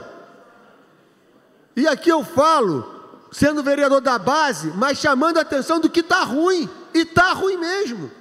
O contrato da Niterói Rotativo tem essa obrigatoriedade de construir garagem. E por que, que não constrói aqui em frente a gente, presidente? Vossa Excelência já viu a quantidade de moradores de rua aqui em frente à Câmara, presidente? Vossa Excelência já viu que eles colocaram barraca? Vossa Excelência soube que a PM foi chamada pelo, pelo fórum para retirá-los dali? Isso é uma vergonha. Vergonha, não porque eles estão na rua. Também é vergonhoso isso, porque eles tinham que ter uma moradia. Mas vergonha porque a gente não está fazendo absolutamente nada. E a gente tem que encarar o problema, meter o dedo na ferida para resolver. Senão nós teremos uma cidade horrível para morar. A região central de Niterói. Me presta aqui, Fênix, por favor, ali. Ó, jornal. Isso aqui é um outro ponto. Uma empresa vem fazer um empreendimento de uma área da cidade que está abandonada, que é o centro de Niterói, aquela parte do Carrefour, a empresa vem investir aqui milhões de reais para fazer um prédio, o Ministério Público já se coloca contra. Ora bolas! O Ministério Público quer o quê? Parar a cidade? Se faz investimento, reclama. Se não faz investimento, reclama. Está difícil. Está difícil. O Ministério Público quer ser o prefeito da cidade. Não está dando para acontecer. Desse jeito, temos que enfrentar o problema. Se a empresa está com problema, chama a empresa, faz um TAC. Agora, não tem como deixar de um empreendimento desse aqui que vai gerar muitas moradias no centro não acontecer. Porque quando acontece o que aconteceu com as torres de Niemeyer, fica todo mundo reclamando. Agora, quando vai se fazer moradia, o pessoal mete o pau. Pô, absurdo isso também. E aquela região ali, com essa quantidade de prédios que vão surgir, os apartamentos não têm garagem para todos os carros. Vai precisar de garagem subterrânea. Vai precisar de garagem para o centro. E essa questão do contrato a Niterói rotativo torna-se peremptória de discussão. Porque senão o centro da cidade vai ficar intransitável. Obrigado pela par. Continua a discussão. É uma bela discussão. É, eu vou começar por Niterói rotativo. Eu acho que eu acho que o Poder Legislativo precisa rediscutir as bases em que foram firmados esses contratos, independentemente das garagens, porque cá entre nós, e aí estou falando mais como engenheiro também, apesar de não ser engenheiro civil, é fácil dizer, vamos fazer uma garagem subterrânea aqui na praça, que é um dos lugares onde estava previsto uma garagem subterrânea. Mas estava previsto também uma série de outras coisas. Entre elas, a implantação do PIT do João Sampaio, do PDDT do Godofredo, do Plano Lerner, em que Amaral Peixoto se transformaria novamente numa rua de mão dupla para ônibus. Com uma estação de entroncamento Zona Norte e Zona Sul, onde o governo atual fez um ponto de ônibus. E não era para ter um ponto de ônibus, era uma estação de integração Zona Norte, Zona Sul, e Amaral Peixoto com mão dupla para ônibus. E tudo isso foi abandonado. Pagou-se, na época do João Sampaio, o PIT, pagou-se na época do, João, do Godofredo o, o PDDT e pagou-se na, na, época do, do Jorge Roberto com o Plano Lerner. E nada disso saiu do papel. Eu assisti e participei de uma reunião com o ex-prefeito Godofredo Pinto, com a presença de Deise Monassa, que na época era secretária de Obras e Serviços Públicos, e o Godofredo, aos gritos, dizia: é muito fácil fazer os cinco terminais de ônibus, Henrique, é muito fácil, quando o Pedro falava, né, fazer os cinco terminais de ônibus na cidade. O difícil é convencer os empresários a botarem os ônibus lá dentro. Esse era o prefeito que pensava que os empresários mandavam e continuam mandando na cidade. Porque financiam campanha de prefeito e de vereador. Hoje nem tanto.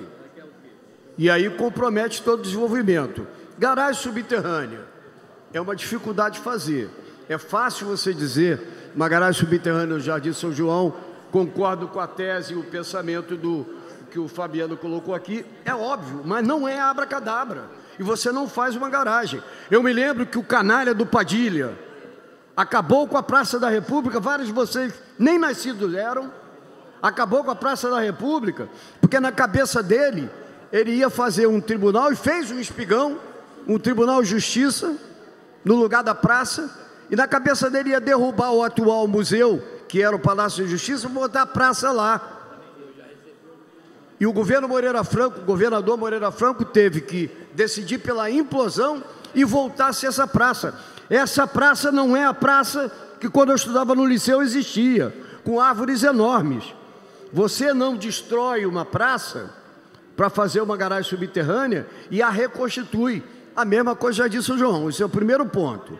Agora, mais importante do que isso, é o que, que a cidade ganha com a privatização das ruas e das calçadas. Essa é a discussão. Esse processo que envolveu a Mauri, que não está mais entre nós, a Mauri Andrade, Plínio Serpa Pinto, que era um dos sócios, tem um terceiro que eu já esqueci. O que, que a cidade ganha com a privatização das ruas e das garagens. O que, que a cidade ganha? Que a cidade pode ganhar. Isso pode, pode ser um elemento? Claro, tem gente que acha maravilhoso a construção civil querer, eu faço um edifício, faço um apartamento, te dou quatro vagas na garagem para entupir a cidade. Depois eles andam de helicóptero. Depois eles andam de helicóptero.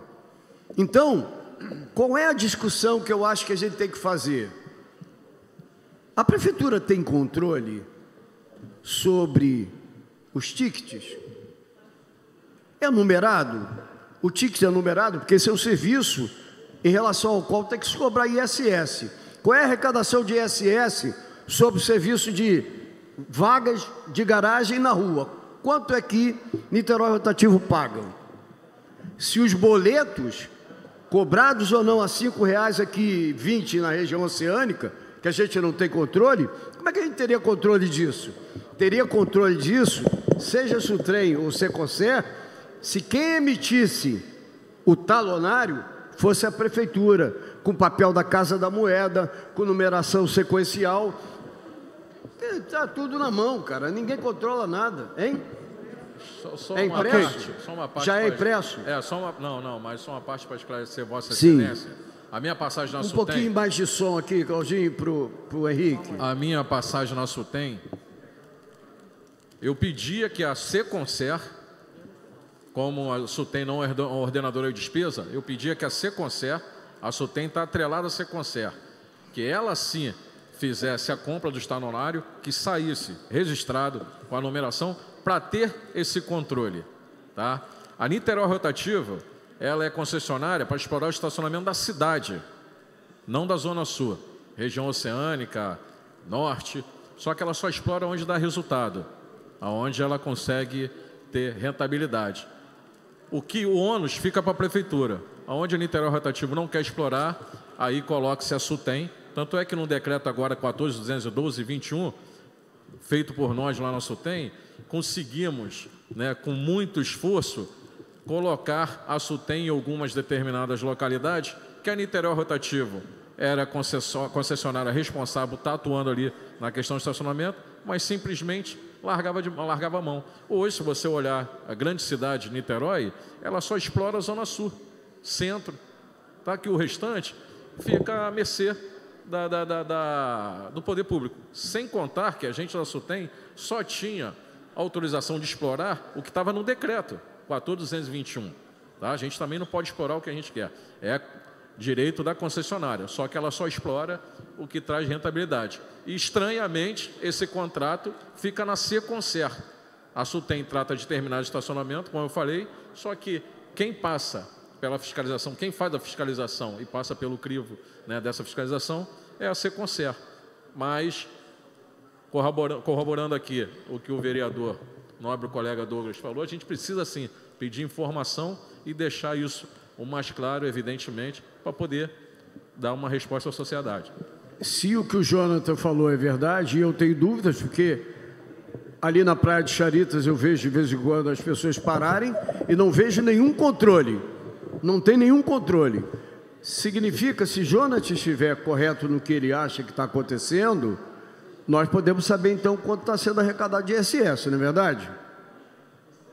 Então é muito fácil a prefeitura responder quanto é que está sendo arrecadado de imposto de serviço, já que isto é um serviço. Eu acho de qualquer maneira que a gente tem que rever isso. Eu sempre, sempre fui, desde que se falou da ideia de entregar a alguém a exploração eh, do serviço de estacionamento da cidade, eu sempre fui contra. Porque se isso precisa ser feito, a gente tem que ter uma relação direta de proveito para a cidade como um todo. E a cidade como um todo significa o seguinte: você vai entupir a cidade de automóveis e o que que os moradores ganham? Eu me lembro que na época tinha vários edifícios da Zona Sul que foram construídos numa época que não se exigia garagem. E aí nós tivemos que fazer uma grande discussão sobre o direito do morador de Caraí, de edifício que não tinha garagem, estacionar o seu carro na rua, sem ter que pagar a Niterói rotativa, quem quer que fosse.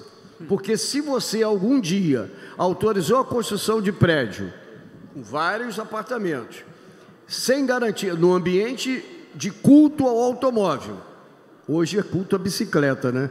Qualquer dia nós vamos ter problema para circular na rua e vamos ser atropelados por bicicletas, motorizadas ou não. Ok. Três vezes é que o carro sai daqui para a Ilha da Conceição e nunca atravessa a ciclovia. Senão ele, desligado do jeito que ele é, seria atropelado mole-mole por essas bicicletas que passam aqui na frente. Então, eu acho que a gente precisa discutir sim é, o papel do Niterói rotativo e o que, que você tem de lucro para o conjunto da cidade. E essa observação feita pelo Henrique, de que eles se dedicam, o que não é novidade. Assim como os empresários de ônibus estão colocando a quantidade de ônibus que interessa para eles no horário de pique e o resto do tempo as pessoas ficam a ver navio. Porque como passa navio na Baía de Guanabara, não passa ônibus, eles ficam vendo o navio. É isso aí, pessoal. Vereador John, para discutir. Rapidamente aqui, presidente, para somar junto com meus pares, meus amigos aqui nessa tarde, queria só aqui, vereador Paulo, é, de fato, todas as vezes que eu faço uso do Niterói Rotativo, eu, eu uso pelo aplicativo, inclusive. Não sei se vocês sabem, Vossa Excelência sabe, mas dá para usar pelo aplicativo. Não precisa nem emitir o, o- o papelzinho lá no, no- no ticket. Né? Eu sempre acesso pelo celular, marco onde eu estou, ele emite lá o tempo duas horas ou quatro horas. Mas quando eu aciono o, o vendedor na rua, é impresso numa máquina muito semelhante a uma máquina de cartão de débito ou crédito, impresso ali o ticket. Não é talão. Não sei se vocês né? É, já não, não é talão que você preenche na mão, né? É, é na máquina ou no, no- no aplicativo. Eu tenho usado, eu tenho usado mais o, o- o- o aplicativo. E aí, presidente, eu considero a discussão importante, mas queria também poder somar um ponto aqui com o que o vereador Fabiano trouxe. De fato, nós precisamos discutir é, é, a reurbanização, a reocupação, a redistribuição, mas, sobretudo, a garantia do direito das pessoas.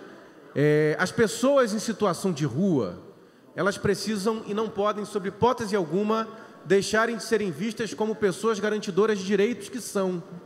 são pessoas que precisam ter os seus direitos restabelecidos, os seus direitos é, é, garantidos e, sobretudo, os seus direitos respeitados por uma transversalidade dos temas que é o que se faz necessário para garantir o direito das pessoas em situação de rua. E aí, vereador Andrigo, líder de governo, eu quero aqui dizer e trazer uma notícia muito importante que foi a criação, vereador Douglas. O prefeito Axel Grael instituiu por meio de decreto o Comitê Intersetorial de Planejamento, Execução e Acompanhamento e Monitoramento das Políticas Públicas voltadas para a população em situação de rua de Niterói. Qual é a importância deste comitê? Esse comitê, ele convoca, por meio do decreto, várias secretarias, vereador Daniel. E aí a pauta da população em situação de rua, como nós trouxemos semana passada aqui, ela deixa de ser apenas de, da assistência social e passa a ser de um comitê, de um comitê formado pela Secretaria de Assistência como coordenação, pela Secretaria de Habitação, vereador Fênix, pela Secretaria de Trabalho, pela Secretaria de Saúde, pela Secretaria de Direitos Humanos. Então, esse comitê vai atuar diretamente no atendimento, mas, sobretudo, na identificação de ações que garantam o direito destas pessoas. Porque o que nós não podemos fazer e não podemos pensar sobre hipótese alguma é tirar das nossas vistas, arrancar essas pessoas dos nossos olhos, achando que isso solucionou ou resolveu o problema que essas pessoas se encontram. Nós precisamos, como legisladores que somos, como representantes que somos, atuar pela garantia de direitos. E aqui eu saúdo a Prefeitura de Niterói, vereador Andrigo, pela criação desse comitê que vai, por meio de transversalidade de pastas, atuar na garantia do direito das pessoas em situação de rua. Isso é muito importante. Por fim, presidente, para poder finalizar o debate, eu queria aqui rapidamente só dizer da importância, pedir apoio dessa casa, vereador Renato, é, para que a gente possa, de maneira única, nos somarmos a uma pauta muito importante que é o PCCS dos profissionais da assistência social. Na semana passada, os trabalhadores da assistência fizeram uma paralisação, vereador Douglas, e foram recebidos, atendidos pelo executivo para que pudessem apresentar a demanda é, de atualização e de aprovação do PCCS, considerando um processo que já está aberto. Presidente, é muito importante que a gente entenda rapidamente, eu sei que a gente tem requerimentos para votar, que a gente vereadores entenda... que atentam só sobre a matéria. Dentro da matéria, dentro da matéria. Não, tá, o vereador Túlio está certo. Olha só, eu queria dizer a vocês o seguinte, com todo o carinho que eu tenho a vocês. É o requerimento que nós temos que votar. Esse assunto é importante, é. Me ajuda a terminar isso. Tudo e bem, o professor presidente. Túlio Vou veio concluir aqui, minha fala. Eu não dei eu não dei a palavra a ele. Eu não dei a palavra a ele. Tudo bem, tudo bem. Vou concluir minha fala. Peço desculpa a Vossa Excelência, mas só para concluir, considero o tema importante e peço a ajuda dos pares nessa tarde e noite. Obrigado, Não presidente. deixarei isso mais acontecer. Presidente, para Requerimento, para discutir o requerimento? Sim, para claro, discutir o requerimento. Presidente, é, primeiro de tudo, eu queria dizer que é de extrema importância que a gente consiga ter acesso a essas informações. né? A gente vê que tem sido crescente né, esses dados e isso vai ajudar com que a gente possa desenvolver uma outra lógica, uma outra ótica a partir dessa perspectiva, dessas políticas públicas que envolve, inclusive, uma série de elementos. Eu acho que a Secretaria de Assistência, a Secretaria de Direitos Humanos, a própria gestão relacionada hoje ao que nós estamos vivendo em Niterói. Para discutir o professor Túlio. Presidente, eu peço até desculpas, eu sei que o nosso objetivo é focar no nos requerimentos. Só que a grande questão é aquela que conversei com Vossa Excelência no início da sessão. Se outros vereadores trazem outros assuntos, eu também quero trazer o os meus. saber, falou. Entendeu? Eu também preciso trazer os meus. E Não, eu não Vossa Excelência queria falar razão. no final. Vossa Excelência tem razão. Sim, sim. Então eu vou tentar ser bem breve, mas vou trazer outros Pode assuntos. falar. É, pô, você está errado, Jota. Entendeu? Porque aí. Porque eu acho que todo mundo aqui trouxe alguma coisa no meio da O vereador fala. John realmente se equivocou. Não era, o assunto é só requerimento. E eu não deixei Vossa Excelência falar para não dar margem a nenhum colega. Então, sendo bem rápido, é, presidente. Primeiro, é uma questão fundamental e importante, tá? Isso é, é notícia fresca de agora. O STJ acaba de autorizar a Polícia Federal a abrir o inquérito para investigar as diversas denúncias de corrupção do governador Cláudio Castro. Nossa, que surpresa, né? Que surpresa! Cláudio Castro, que foi pego no elevador com a mochila cheia de dinheiro. Cláudio Castro, que coordenou o esquema de corrupção conhecido como esquema do CEPERG, que alimentou uma galera aqui, inclusive na cidade de Niterói.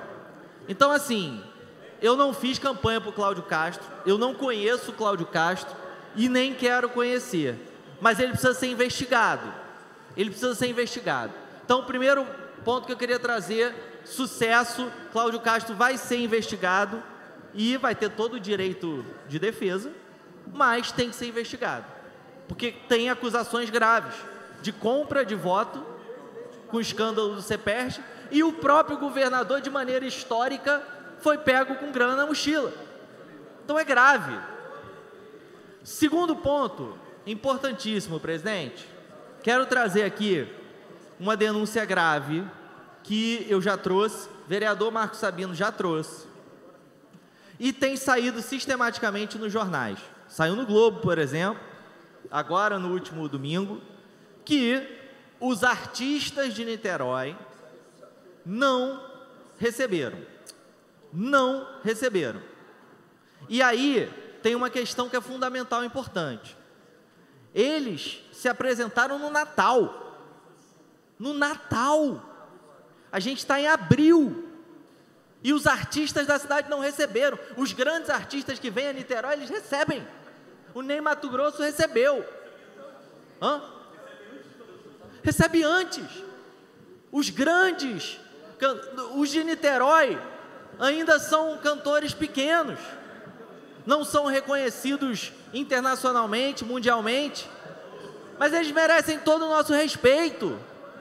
As pessoas estão pedindo, pelo amor de Deus, para receber um troço do Natal. E aí, o mais revoltante é que o responsável por isso, que é o tal de Fernando Brandão, que dizem até que ele é bom, violinista, tal, beleza, ótimo, maravilhoso. Agora, como secretário, ele é ruim. Como presidente da FAM, é ruim.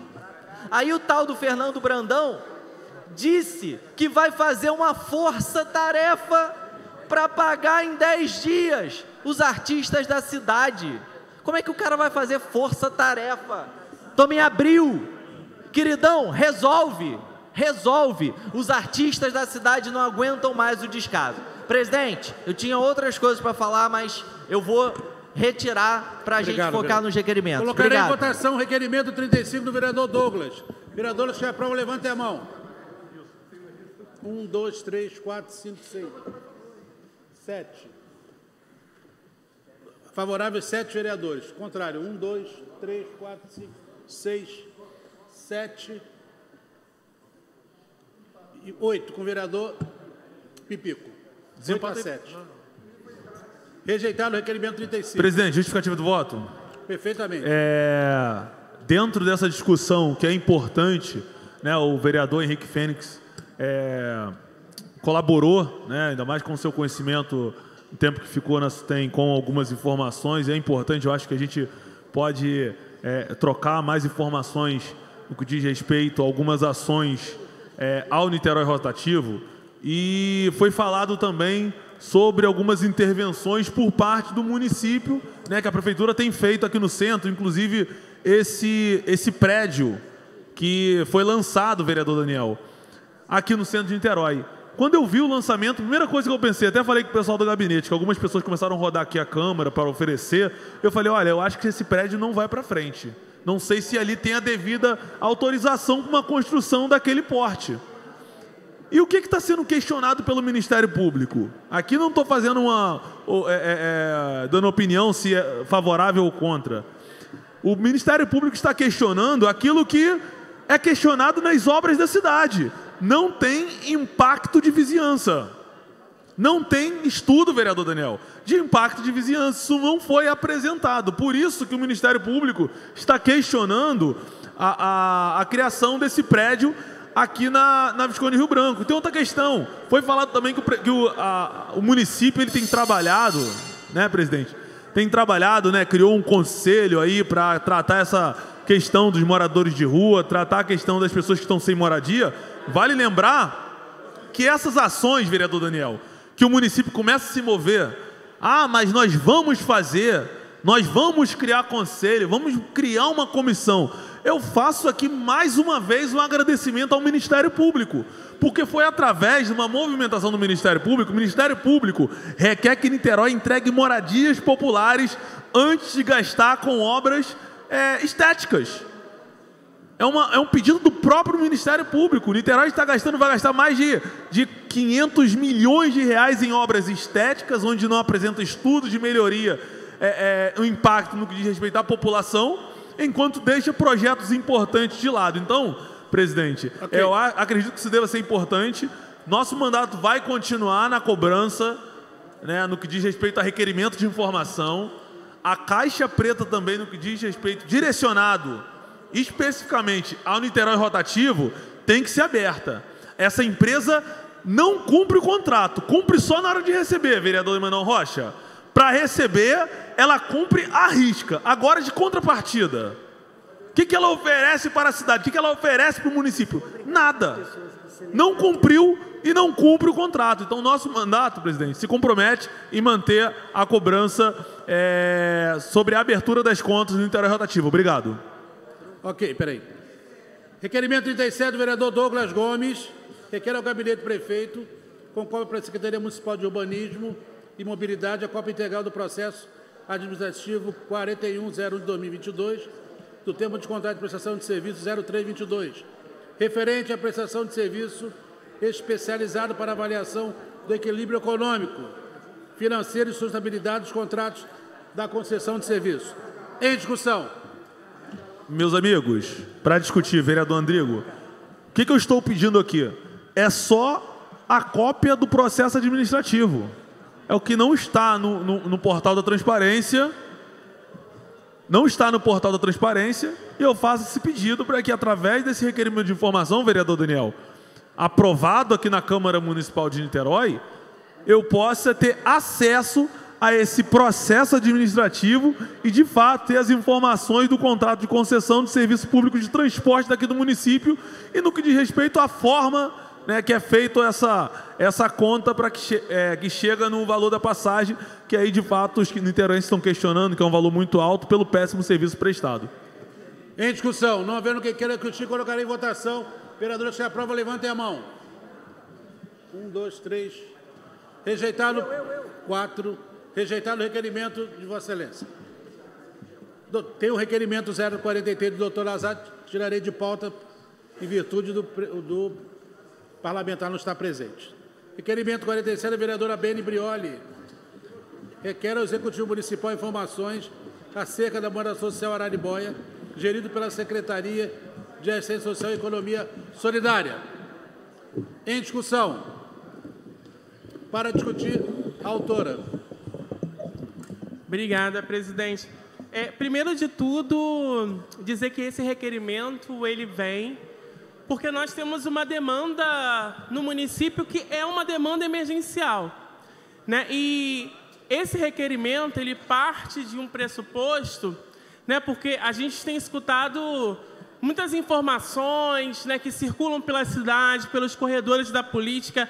Ah, mas porque tem famílias que vieram de São Gonçalo e não foram incluídas.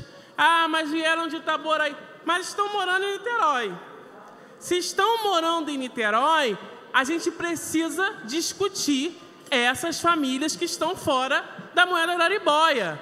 O meu compromisso quanto parlamentar é combater a fome, combater a miséria, combater as desigualdades sociais e econômicas dessas mulheres, mães pretas, que estão nas favelas e nas comunidades de Niterói com a fome, com a miséria dentro da sua casa. Chegou o prato dos seus filhos. Semana passada nós tivemos uma manifestação em frente à prefeitura, vereadores, mulheres com seus filhos no colo, esperando a terceira chamada da moeda araribóia. E isso traz um horizonte, um sentido para a gente de que acho que Niterói desenvolveu, né, nós precisamos reconhecer uma das melhores políticas que foi a moeda araribóia. Né, a Secretaria de Assistência deu conta dessa política e desenvolver essa política. Só que isso para a gente é um reconhecimento, mas não é o suficiente quando a gente tem famílias do Morro do Estado, quando a gente tem famílias ainda do Palácio, do Preventório, do Cavalão, da Vila Ipiranga, da Caixa d'Água, da Bernardino, na região oceânica, no Badu, que estão esperando a moeda araribóia. E nós estamos falando aqui de pessoas que estão com fome. Nós estamos falando de famílias que têm fome, que têm anseio e que precisam que essa política pública ela se materialize dentro das, das casas dessas famílias. E para poder concluir, eu queria dizer que a política ela é boa. Nós temos o SUS, por exemplo, que é uma das melhores políticas relacionadas ao tratamento à saúde humanizada do mundo. Mas tem as suas falhas, tem as suas controvérsias. E não é diferente do que está acontecendo em Niterói. É preciso que se pense um novo orçamento nessa gestão para ampliação da moeda araribóia. A moeda araribóia ela é um compromisso de ressocialização, um compromisso do combate à fome, do combate à miséria, é um compromisso nesses últimos quatro anos de Brasil no mapa da fome, de Brasil da desgraça, de Brasil de milhares e milhares de famílias que ficaram em vulnerabilidade social e econômica, de retomarem a sua cidadania. E nós precisamos aprovar esse requerimento, porque esse requerimento, ele se trata, vereadores, de como que nós iremos discutir aqui dentro dessa casa informações com dados, a partir de evidenciar e materializar a política pública. E concluo dizendo, é preciso que a gente entenda é o lugar que parte o princípio dessa política. Se não é para combater a fome, se não é para combater as desigualdades sociais e estruturais das pessoas pobres e periféricas do nosso município, não há de que nós estarmos aqui se essa, se essa política não for evidente. Então, queria deixar nítido, presidente, que como presidenta da Comissão de Direitos Humanos, como parlamentar e hoje única mulher em exercício nessa casa, eu preciso ter acesso aos dados de quando que, quando que está previsto a terceira chamada da moeda araribóia, qual é o orçamento que nós iremos trabalhar, quais são as margens para os próximos orçamentos, o que está sendo discutido para atender a demanda da nossa população que tem fome. Continua a discussão. Para discutir, presidente. Para discutir, vereador Douglas. Presidente, é, mantendo minha linha de raciocínio no que diz respeito à discussão municipal, né, deixando claro que Niterói é comandada por um prefeito de esquerda, PDT, diz que luta pelos mais pobres, pelos mais necessitados, e a gente vê o contrário. A gente vê uma folha gorda da Emusa de 11, mil, 11 milhões por mês, pessoas de Itaboraí, pessoas de São Gonçalo nomeadas sem trabalhar. Nós temos alguns apadrinhados, né, o de Jorge Patrício no terminal. Amanhã tem uma discussão importante sobre os royalties. Gostaria de saber a opinião do Jorge Patrício no que diz respeito aos royalties de Niterói e São Gonçalo, já que ele é de São Gonçalo, mas recebe aqui por Niterói. Mas isso é uma outra discussão. Vamos focar na moeda araribóia. Esse é o requerimento de 2022. Mas no dia 20, 2023, 2023, perfeito, melhor ainda, porque no dia 23 de janeiro desse ano, sai uma matéria falando o seguinte: TCE apura irregularidades em depósitos da moeda social em Niterói, moeda araribóia. E diz mais: foi falado de reajuste no que diz respeito ao orçamento. Não precisa de dinheiro. é direcionado, pelo menos foi direcionado 91 milhões. Sabe qual foi o valor repassado para a população? 52 milhões de reais. Dos 91 milhões que a prefeitura repassou para a empresa e dinheiro, a empresa repassou apenas 52 milhões de reais. E qual é a dificuldade, vereador Paulo? A empresa ela não apresenta a prestação de contas com o que foi feito com esse dinheiro. Mas o Tribunal de Contas, ele aponta que ele, com base nas informações colhidas, que esse recurso, sabe o que a empresa E Dinheiro fez?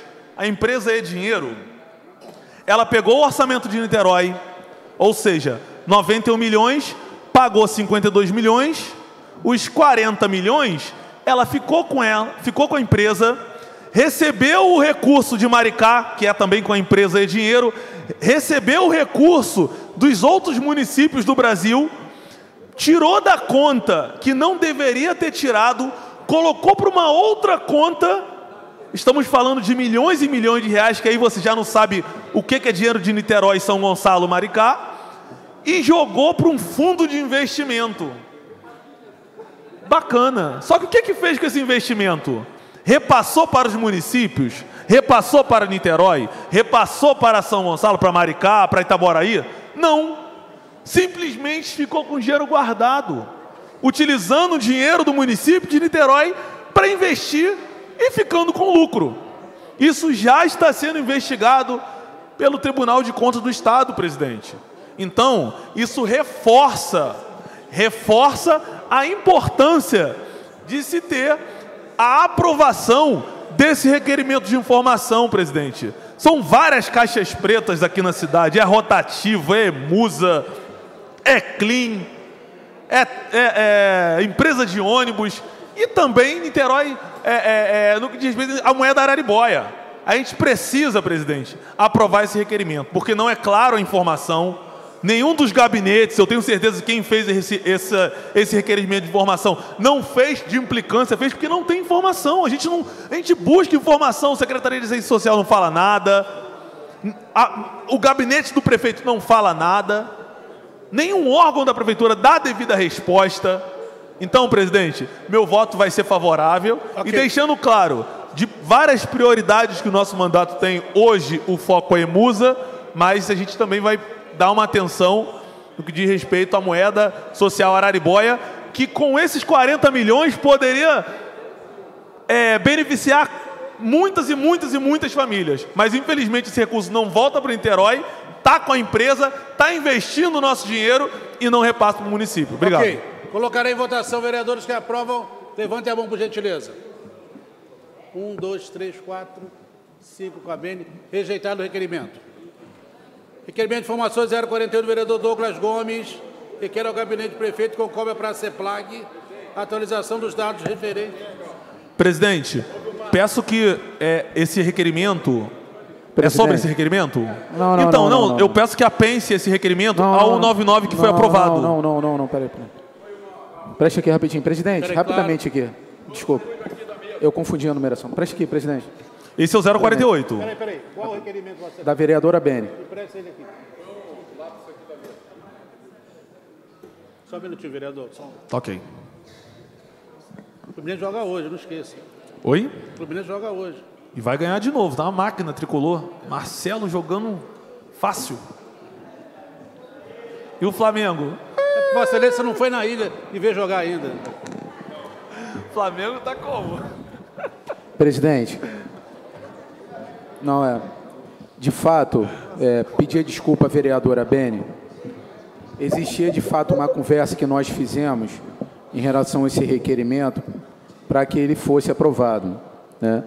E acabou que passou despercebido aqui, porque eu confundi a numeração. Vereador, eu peço desculpa. Peço desculpas, porque de fato existia uma conversa para que esse requerimento fosse aprovado e pedir desculpa à vereadora. Então, eu vou fazer uma... Faz a, faz a votação, está tá na mesma sessão. Colocarei em votação novamente o requerimento 047. Vereadores que aprovam, levantem a mão. Então, aprovado o requerimento da vereadora Beni Brioli. Vereador Douglas Gomes, 048. Requer ao gabinete do prefeito com cópia para a CEPLAG a atualização dos dados referentes a planilha de, aspas, acompanhamento de obras públicas, fecha aspas, no portal de transparência da Prefeitura de Niterói. Presidente. Para discutir o autor. Para discutir, eu peço que esse requerimento de número 048 ele seja apensado ao requerimento 199 de 2022, pois foi um requerimento aprovado nessa casa e tem o mesmo, é, é, mesmo mérito. O 99 foi o da, da Emusa, que no que diz respeito à atualização da planilha de obras públicas. Então eu peço que apense. Não, não, o meu, o meu, o meu. Então, queria pedir a taquigrafia que E registrasse, já foi aprovado. a pedido do autor, o 048 de 2023, fosse apensado a 199 de 2022. Presidente. 049 do professor Túlio. Requer a mesa diretora a realização de audiência pública na Praça do Engenho do Mato para debater a situação das obras de pavimentação e drenagem na região oceânica no município de Niterói. Presidente, só pela ordem. Vossa Excelência, acredito que vai dar tempo de nós terminarmos a sessão plenária, porque tem um assunto de, de importância ímpar, que é a questão dos servidores e aposentados de Niterói, que eu precisava falar Em hoje. 10 eu minutos. recebi. Eu vou, Muito vou obrigado. sessão às 7 horas. Eu não posso ir para casa um hoje dur- e tentar dormir se eu não, Quando falar for 10 sobre para as isso. 7, eu daria a palavra a Vossa Excelência. Vereador Túlio, para discutir o requerimento. Presidente, obrigado. Chegou o meu momento de brilhar. Eu tenho nove requerimentos agora de informação. Chegou o momento. Os humilhados serão os exaltados. Presidente, dá uma olhada nisso aqui. Primeiro, que eu queria colocar em, em votação: 49 de 2023. É simples, presidente. Muito simples. Audiência pública para debater as obras do Engenho do Mato, que estão uma confusão danada. A população, infelizmente, não tem informação necessária. Né? É, o- os moradores que eu converso, todos eles falam a mesma coisa. Olha, ninguém é contra a obra, a gente quer a obra, a gente precisa da obra, só que o problema é que a gente não sabe quando começa, quando termina, em que momento vai faltar água, em que momento não vai, não vai faltar água. Então não há planejamento nenhum. Qual é a data de, de início da obra, qual é a data de término.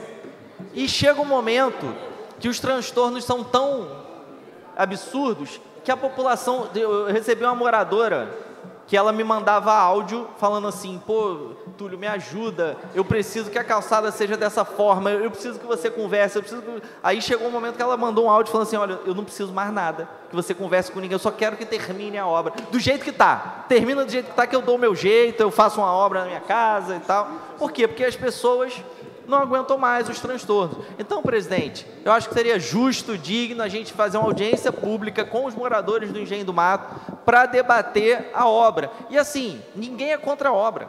Ninguém aqui, tem alguém da oposição que é contra a obra do Engenho do Mato? A gente só quer qualidade na obra, a gente só quer fiscalização, a gente só quer rapidez, a gente só quer é, minimizar os transtornos pelos quais a população está passando. Então eu peço que nós aprovemos o requerimento. Continua a discussão. Presidente, para discutir. Nosso mandato, assim como o do mandato do, do vereador Túlio, tem recebido diversas eh, reclamações dessa obra, principalmente essa obra feita pela Hidra, ali no Engenho do Mato. Primeiro, eu estava até conversando agora com, com o vereador Paulo, a gente volta à discussão da necessidade de uma CPI da Emusa para entender qual o papel da Emusa. Porque se nós temos problemas graves como esse, citado pelo vereador na região oceânica, é porque a empresa que deveria fiscalizar a obra contratada, a empresa contratada, não faz, que é a Emusa. Aí tem que vereador ficar recebendo, eu recebi demanda eh, de moradores que falando assim, vereador, nessa rua aqui colocaram esse tipo de material, só que passa caminhão, vai afundar. E afundou. Nós enviamos ofício, pedimos que fosse feito uma análise no local, não fomos atendidos, fomos no lugar umas três vezes. Qual foi o resultado? Afundou duas vezes o caminhão. Porque a empresa que deveria fazer, que é a Emusa, não faz seu papel, que é fiscalizar. E sempre, presidente, é, parece que ah, os vereadores querem sempre voltar na, na, na, na pauta Emusa. Não. É porque tudo que a, Niterói faz, tudo que é discutido nessa casa, parece que é travado por conta do péssimo serviço prestado por essa empresa pública, presidente. Nessa obra no Engenho do Mato, A gente está pedindo o projeto, vereador Túlio, há mais de um ano. Sabe qual é a reclamação? Reclamação básica. Rua Ari Guanabara, que fica ali próximo. Qual foi o projeto feito, vereador Paulo? Eles vão asfaltar a primeira, a segunda e a terceira quadra da Ari Guanabara, que eu acho que é a antiga Rua 23, se eu não me engano. Rua Ari Guanabara. A quarta, a quinta e a sexta quadra, elas não serão contempladas. Só que o que acontece? A quarta, a quinta e a sexta fica no pé de uma encosta. Quando chove, desce lama. A lama vai para onde? Entope onde foi asfaltado. Entope a galeria que foi feita. Então, assim, são algumas obras, presidente. São obras que a gente não consegue entender e não consegue nem conversar nem discutir, porque eu chego pro, pro, pro fiscal da obra, pro chefe de, da obra lá e pergunto: mas isso aqui está certo? Ele fala: não está, mas a gente cumpre o que está no contrato. Eu tenho gravado, eu tenho gravado, eu não vou expor, porque eu sei que vão perseguir o cara. Mas ele falou: vereador, isso está errado. A obra tinha que começar de cima para baixo. Só que como eles querem apresentar, né, quem passa na rua, na Avenida Central, olha para a direita ali, vai ver tudo asfaltado. Só que não imagina que o asfalto só vai até a terceira quadra. A quarta, a quinta e a sexta não, não foram contempladas. Então o próprio engenheiro, o próprio chefe mestre de obra fala, isso está errado, isso não vai dar certo, a galeria, ela não vai comportar, porque desce pedra, desce mato, desce lama, vai entupir a galeria, e relato dos moradores, eu sei que o vereador recebeu da mesma forma. Vereador Douglas, nunca alagou tanto, nunca encheu tanto como agora, vereador Dado. Dá uma parte rapidinho? Sim. É, eu acho é importante o que o vereador está falando aqui.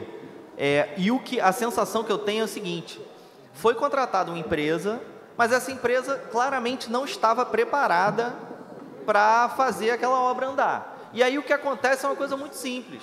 Você tem, primeiro, um número de pessoas muito menor do que o necessário para tocar uma obra daquele porte. Cara, se você faz qualquer intervenção dentro da sua casa, você vai reformar o banheiro da tua casa, aparece um, uns dois ou três ali para fazer um negócio numa velocidade razoável.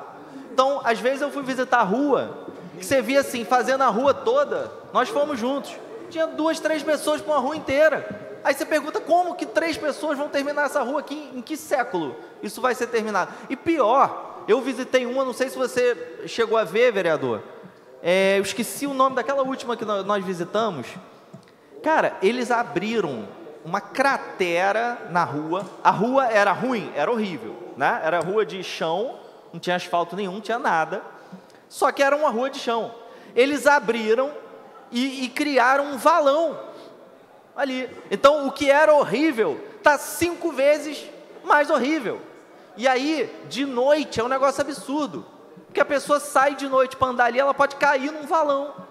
Tem uma, a moça caiu, é, rasgou a perna num vergalhão, porque ficou um vergalhão lá. Todo mundo foi embora, deixou um vergalhão lá. E tem uma ponte de madeira que a minha vontade era pegar uma marreta, um, um taco de beisebol e bater na, na ponte e quebrar aquela ponte, porque a ponte vai cair, pode cair com uma pessoa, pode cair com uma pessoa. Então, assim, são coisas que você não, não enxerga em lugar nenhum do mundo e que acontecem na obra do Engenho do Mato. Então, okay. assim, tá difícil.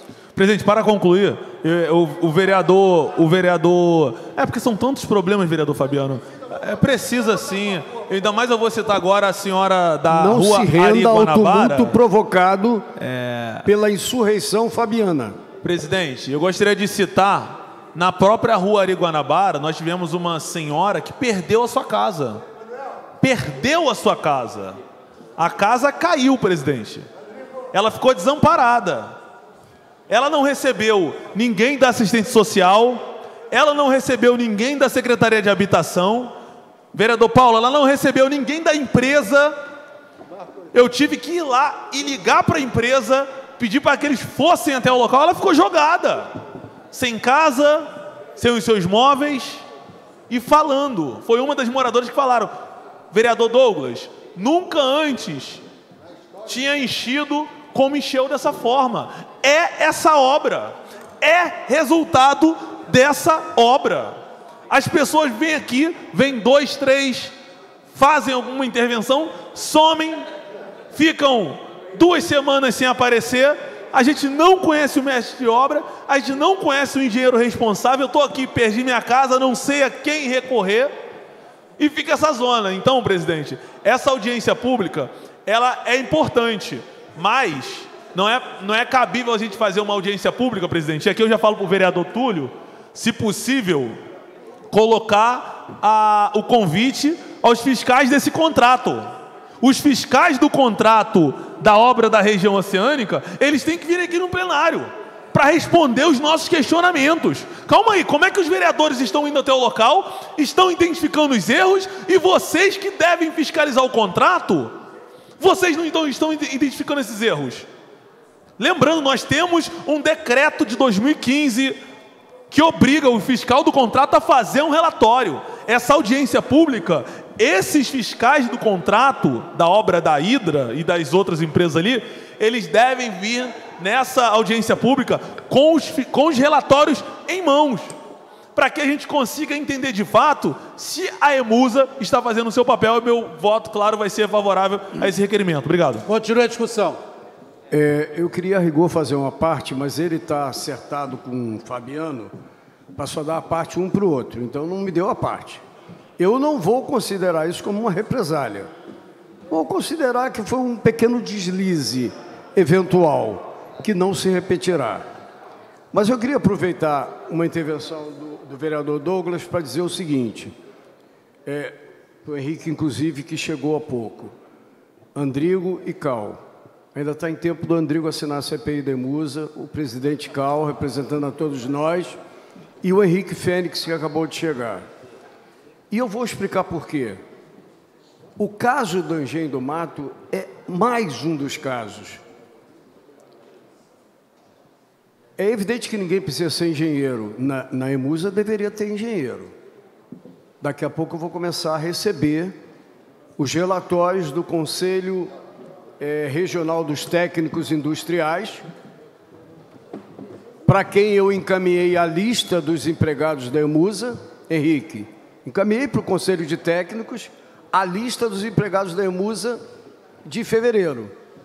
E encaminhei para o CREA e estamos encaminhando para o CAL. CAL, que é o Conselho de Arquitetura, de Arquitetos e Urbanistas. Por quê? Não, não é um CAL com, com L, nem é CAL de CAU, é o CAU CAU, Conselho de Arquitetos e Urbanistas. Por quê? Porque daqui a pouco nós vamos saber se aquela afirmação do prefeito Axel, de que a quantidade de funcionários, Henrique, da Emusa era grande, porque a quantidade enorme de obras que existe na, na cidade justifica a quantidade enorme de pessoas que trabalham, algumas trabalham de, de fato, e não é pouca gente que trabalha na Emusa ou que tenta trabalhar. E tem um monte de gente que estava lá parasitando, ganhando dinheiro no povo de Niterói, sem nenhum compromisso com a Emusa. Por que, que a gente precisa, precisaria ter, de fato, uma CPI da Emusa?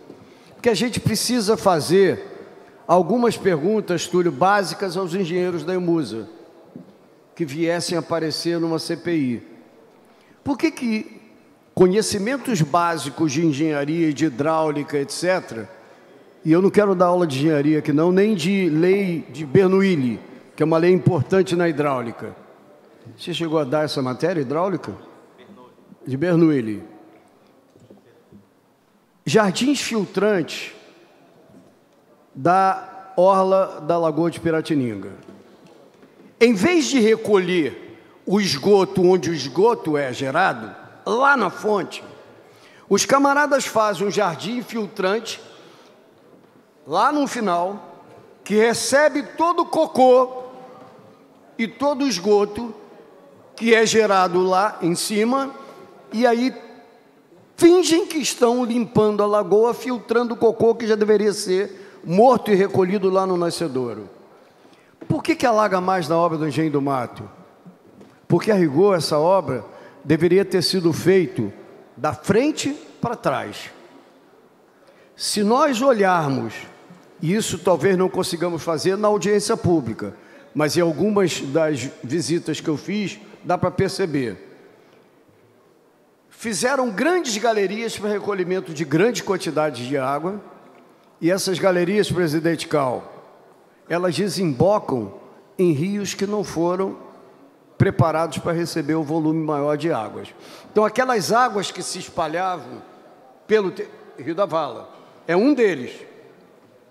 Então, o que, que acontece? Grandes galerias recolhendo volumes maiores de água, é evidente que tem chuvas excepcionais, e a gente tem que considerar quando as chuvas são excepcionais. Mas você recolhe uma quantidade enorme de água que se afunilam para um rio que não está no projeto original. De quem é responsabilidade? Qual foi a empresa que contratou a obra? Não é quem executa a obra que tem responsabilidade única. A contratação foi feita pela Emusa. Como é que você provê obras com grandes galerias para recolher águas em grandes quantidades e você carrega toda essa água para um rio cuja seção é quase nada?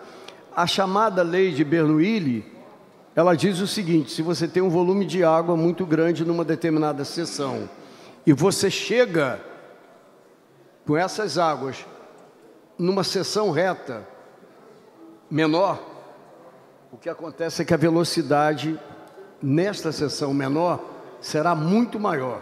É uma relação direta. O que significa? O que fizeram no engenho do mato para enganar a população dizendo que a vida delas seria melhor, na realidade agravou ou aumentou a possibilidade de que com uma velocidade maior no rio que não foi canalizado ou não foi é, ressuscitado, porque também tem essa história, né? Tem gente que acha maravilhoso você colocar concreto no rio, em vez de salvar as margens que fazem com que o rio tenha vida.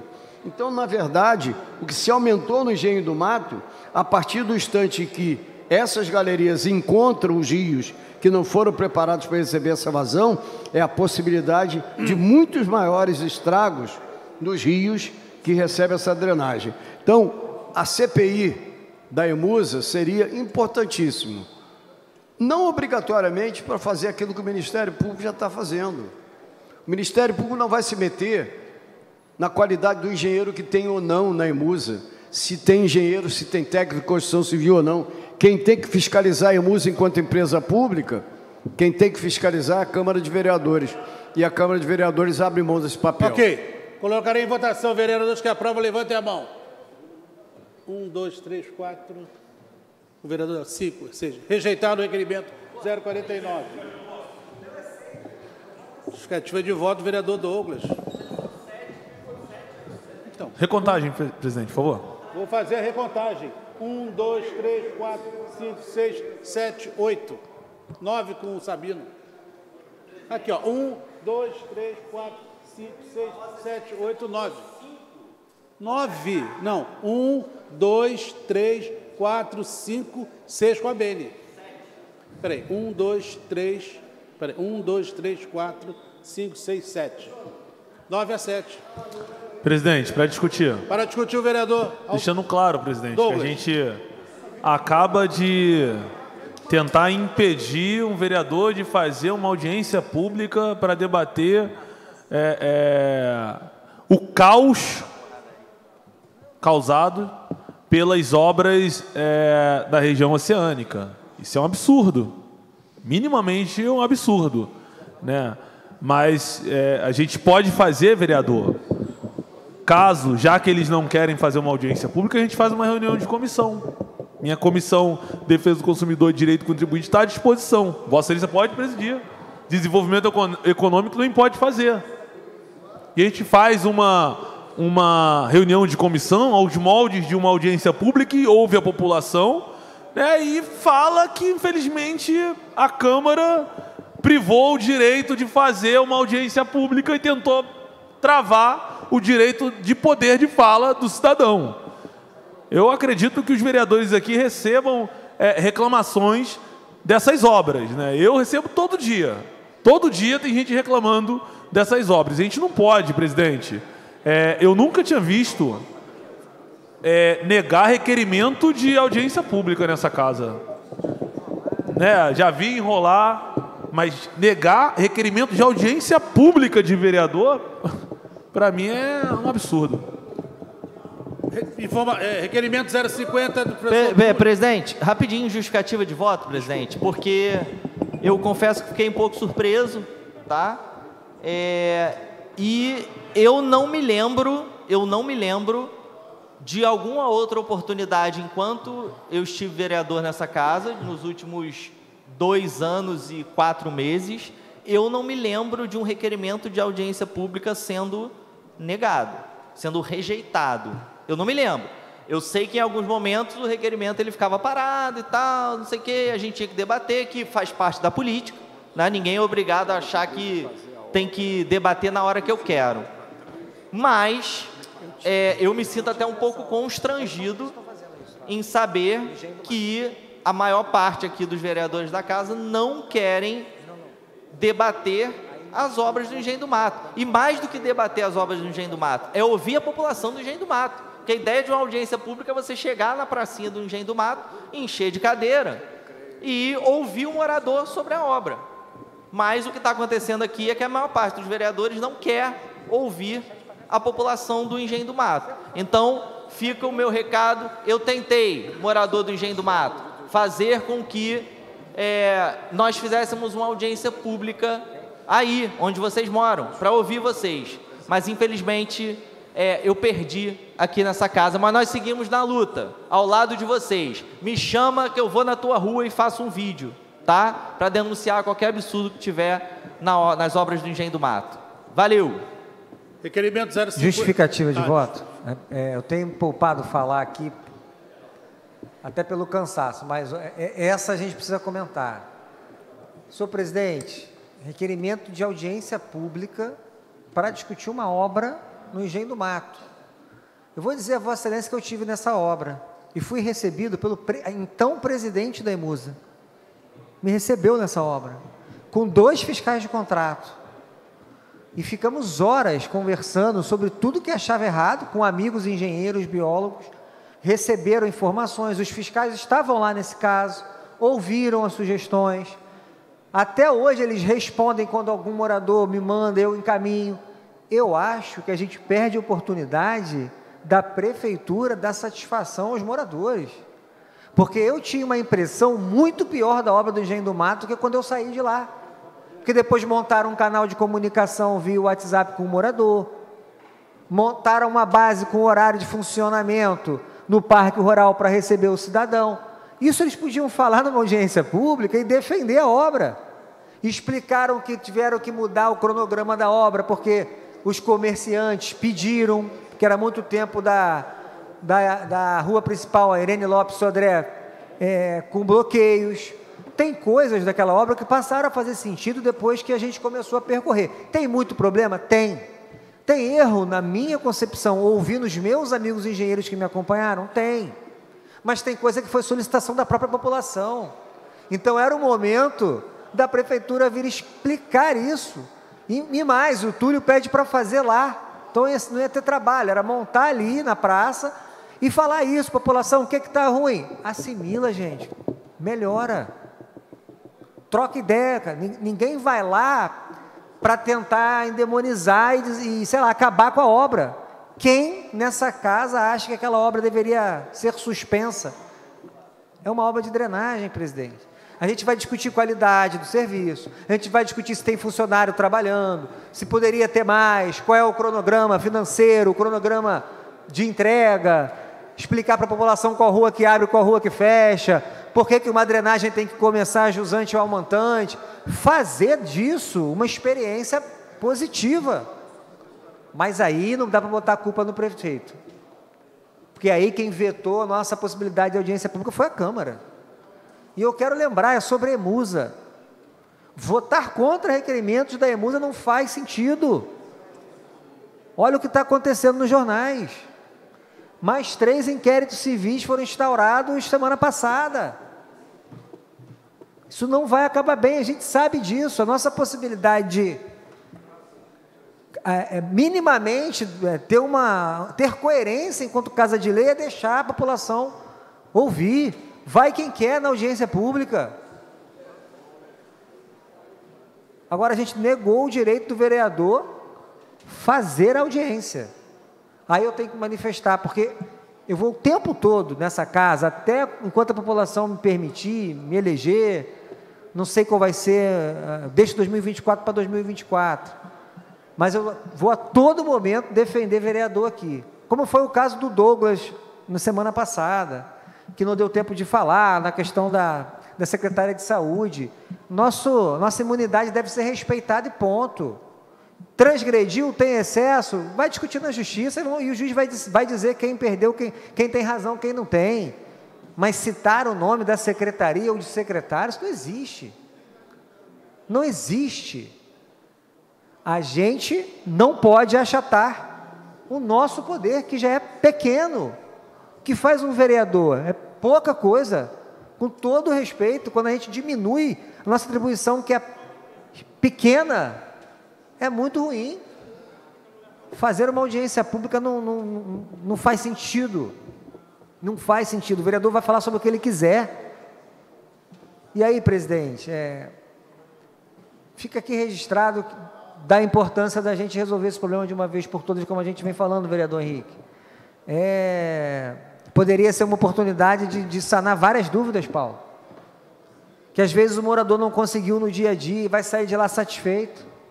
Da prefeitura defender aquilo que ela entende como uma obra bem feita, defender o que ela está mostrando, que, por exemplo, tem alguns conceitos lá, vereador Emanuel, de asfalto ecológico, de piso intertravado, que eu fui lá ver e achei fantástico. Não tem problema ter erro, gente. Ninguém está dizendo que a obra tem que ser perfeita. Pelo amor de Deus, pô.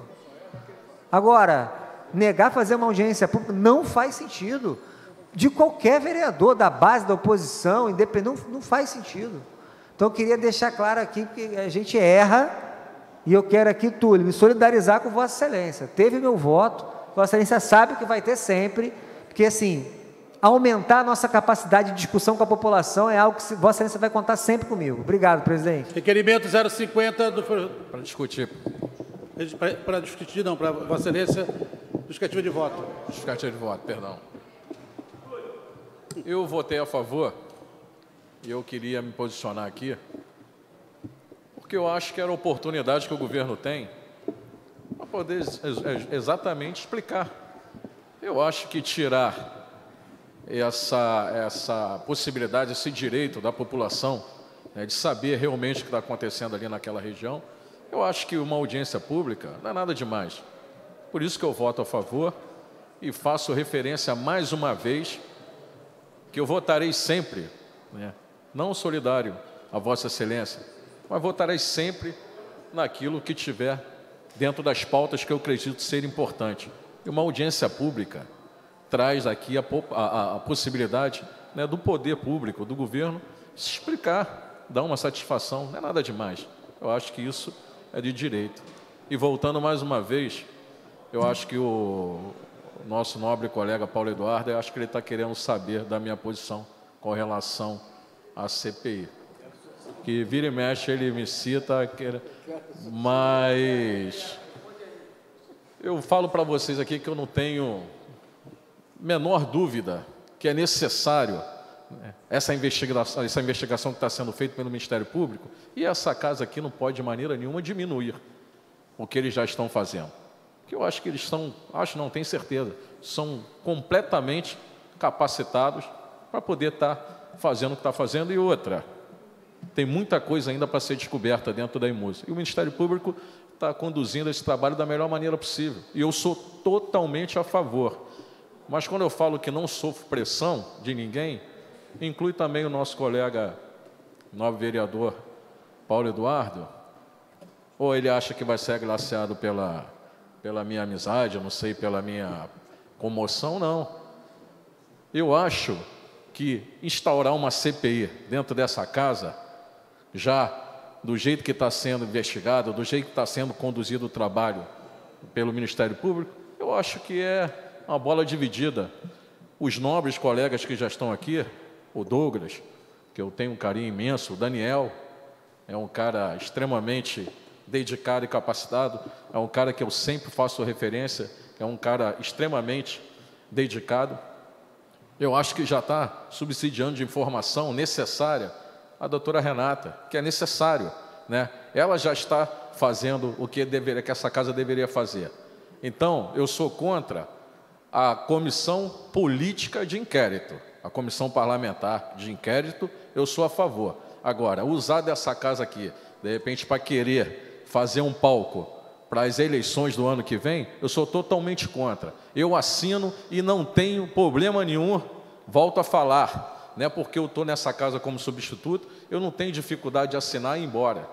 Né, eu vou para o sacrifício, porque eu assino em prol daqueles que me colocaram aqui mas aquilo que eu acredito ser importante. Eu já estou vendo a condução do Ministério Público, eu, ao qual faço referência aqui a doutora Renata, que é extremamente capacitada e está à frente dessa, dessa movimentação, dessa investigação, não só da EMUSA, entre outras secretarias que tem que ser investigada. Agora, a gente tem que levar isso daqui de uma coisa, de uma, de uma importância né, de subsídio ao Ministério Público, mas também ser muito claro que eu não sofro pressão, nem tanto do, dos parlamentares, nem tanto do executivo. Comigo não tem essa. Eu volto, volto a falar, eu sofri pressão com 15 anos de idade, quando eu saí de casa para sustentar minha família. E se tiver que ir para o sacrifício, eu vou. Que tem duas questões. O Paulo gosta muito de fazer parábolas, né? conforme ele fez a parábola do escorpião com, com a tartaruga. Então existe a diferença do envolvimento e do comprometimento. O envolvimento é igual o bife a cavalo. O senhor gosta muito de fazer as parábolas, então vou fazer uma parábola para o senhor tem o bife a cavalo. O senhor sabe como é que é. A galinha vai lá, põe o ovo e vai embora, mas o boi teve que ir para o sacrifício.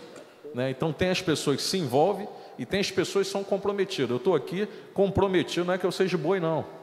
Tá? Mas eu estou aqui comprometido com aquelas pessoas que me colocaram aqui. E o meu voto vai ser: meu voto não é meu, meu voto não é de partido, meu voto não é de governo. Meu voto é daquelas pessoas que me colocaram aqui. E vou sempre defender as pautas que eu acredito ser importantes. Volto a falar, pressão em cima de mim não vai dizer nada. Se tiver que assinar, eu vou assinar de acordo com as minhas convicções. Mas eu já acho que o Ministério Público está fazendo um trabalho junto com a imprensa importantíssimo. Então, eu estou me colocando aqui à disposição para debate, para discutir. Agora, se vocês me convencerem que realmente essa investigação, essa, essa, essa esse procedimento, instaurar a CPI aqui, é necessário porque o Ministério Público não está tendo a capacidade ou não está sendo o suficiente, aí vocês me convencem que eu assino. Agora, pelo que eu já estou vendo, o Ministério Público já está fazendo um trabalho, pô. já está fazendo um trabalho. Só isso, presidente. Obrigado, vereador. Presidente, para a gente acelerar, é, o, o, requerimento 50 e 51 eu quero que bote em votação direto e o 52 eu quero retirar, tá? Porque a gente já tem as então, informações. Então, 50 e 52, botar para votar. Requerimento 050 do vereador Túlio requer informações sobre a atuação da Guarda Civil Municipal nos equipamentos de assistência social. E o 51 do professor Túlio, inclusive, requer informações sobre a contratação de profissionais por RPA no âmbito da Fundação Municipal de Saúde. Para discutir. Não. Não havendo quem queira discutir, colocarei em votação. Vereadores que aprovam, levantem a mão. Um, dois, três, quatro. Cinco. Um, dois, três, quatro, cinco, seis. Rejeitado os dois requerimentos. É, presidente, 50... o 52 eu quero retirar. Já os retirei. O 53 eu quero falar. 53, professor Túlio, requer informações sobre licenciamentos de obras em Itacoatiara. Então, presidente, esse requerimento para mim é importante porque nós fizemos a denúncia do shopping que está sendo construído de forma irregular. Logo depois, um dia depois da denúncia que eu fiz aqui nessa casa, veio me visitar um advogado, dizendo-se advogado da empresa, da construtora, tentando intimidar o nosso mandato. Só que o nosso mandato não é fácil de intimidar. E aí, nós, a partir da visita do cidadão, nós resolvemos fazer um requerimento. Chamamos uma audiência é, com o Ministério Público e queremos aqui é, informações sobre a obra que está sendo Taquatiara. Então, pessoal, se a obra é irregular e a nossa avaliação é de que ela é irregular, tá? A Associação de Moradores também considera que a obra é irregular? Qual é o problema da gente pedir informação para que a justiça confirme ou não aquilo que a gente está dizendo? Porque pode ser que a justiça, Paulo, fale assim: olha, a SOAME está errada e o mandato do, do jurídico do mandato do professor Túlio estão errados. Nosso entendimento é outro. Pode, pode acontecer isso, mas também pode acontecer da justiça falar, o professor Túlio está certo, a SOAME está certa. Então nós estamos pedindo o básico, informações sobre obras em Itacoatiara, para que a gente, munido dessas informações, possa municiar a justiça e a justiça vai tomar a decisão dela. Se os, os donos da construtora tiverem razão e a justiça falar que eles têm razão, tudo bem, eu me retiro do processo. Então, peço que nós aprovemos esse requerimento importante, presidente. Obrigado. Para defender o requerimento. Vereador Paulo Eduardo. É bom a gente recordar um pouco da história. E aí, hein, vem cá, Henrique, vem cá, meu amigo Henrique. Não é parábola, não, é um problema de vida e experiência de vida.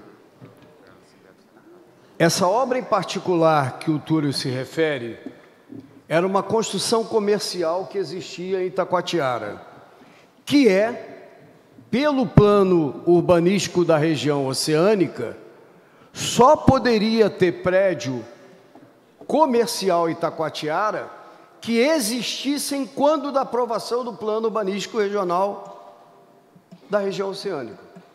É isso. O que, que aconteceu?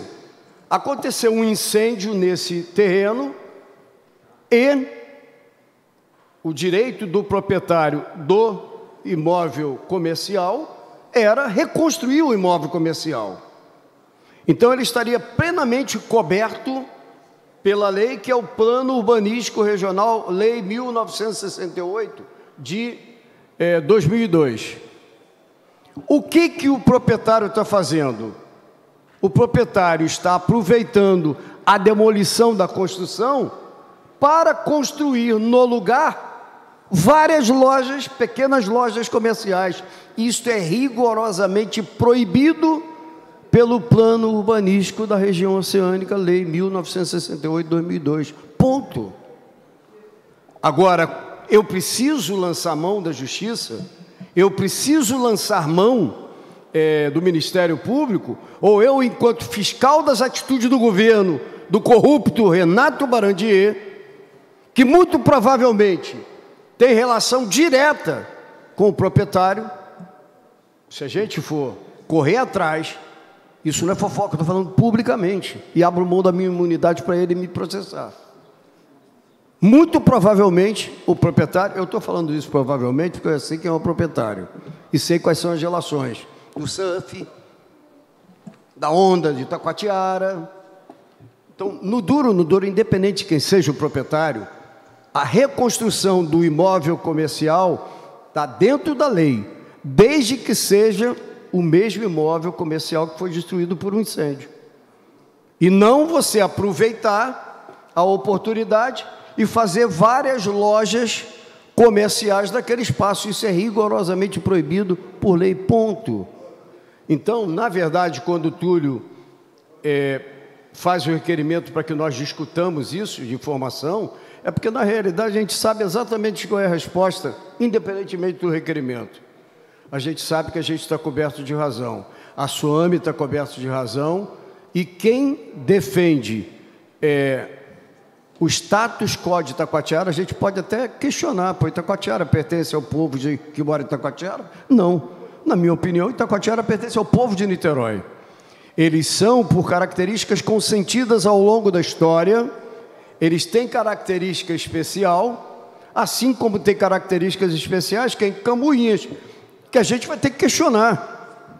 Moradores de Cambuinha não pode deixar de ter a CRIM fazendo limpeza, porque tem uma, uma Soprecam que arrecada das pessoas que lá moram um dinheiro. O fato de existir uma associação chamada Soprecam, Sociedade de Proteção de Cambuinhas, que cuida de maneira complementar, na minha opinião, que cuida de Cambuinhas, não dá, não dá a CRIM o direito de se negar a fazer limpeza, fazer varrição, recolher lixo.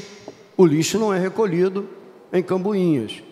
Então, o que o, o Túlio está reivindicando é absolutamente compatível com o papel de uma Câmara de Vereadores que está assistindo o Poder Executivo autorizar uma obra, uma obra que não tem base legal para ser autorizada. É isso aí, presidente. Em discussão. Não havendo quem queira discutir, colocarei em votação. Vereadores que aprovam, levantem as mãos.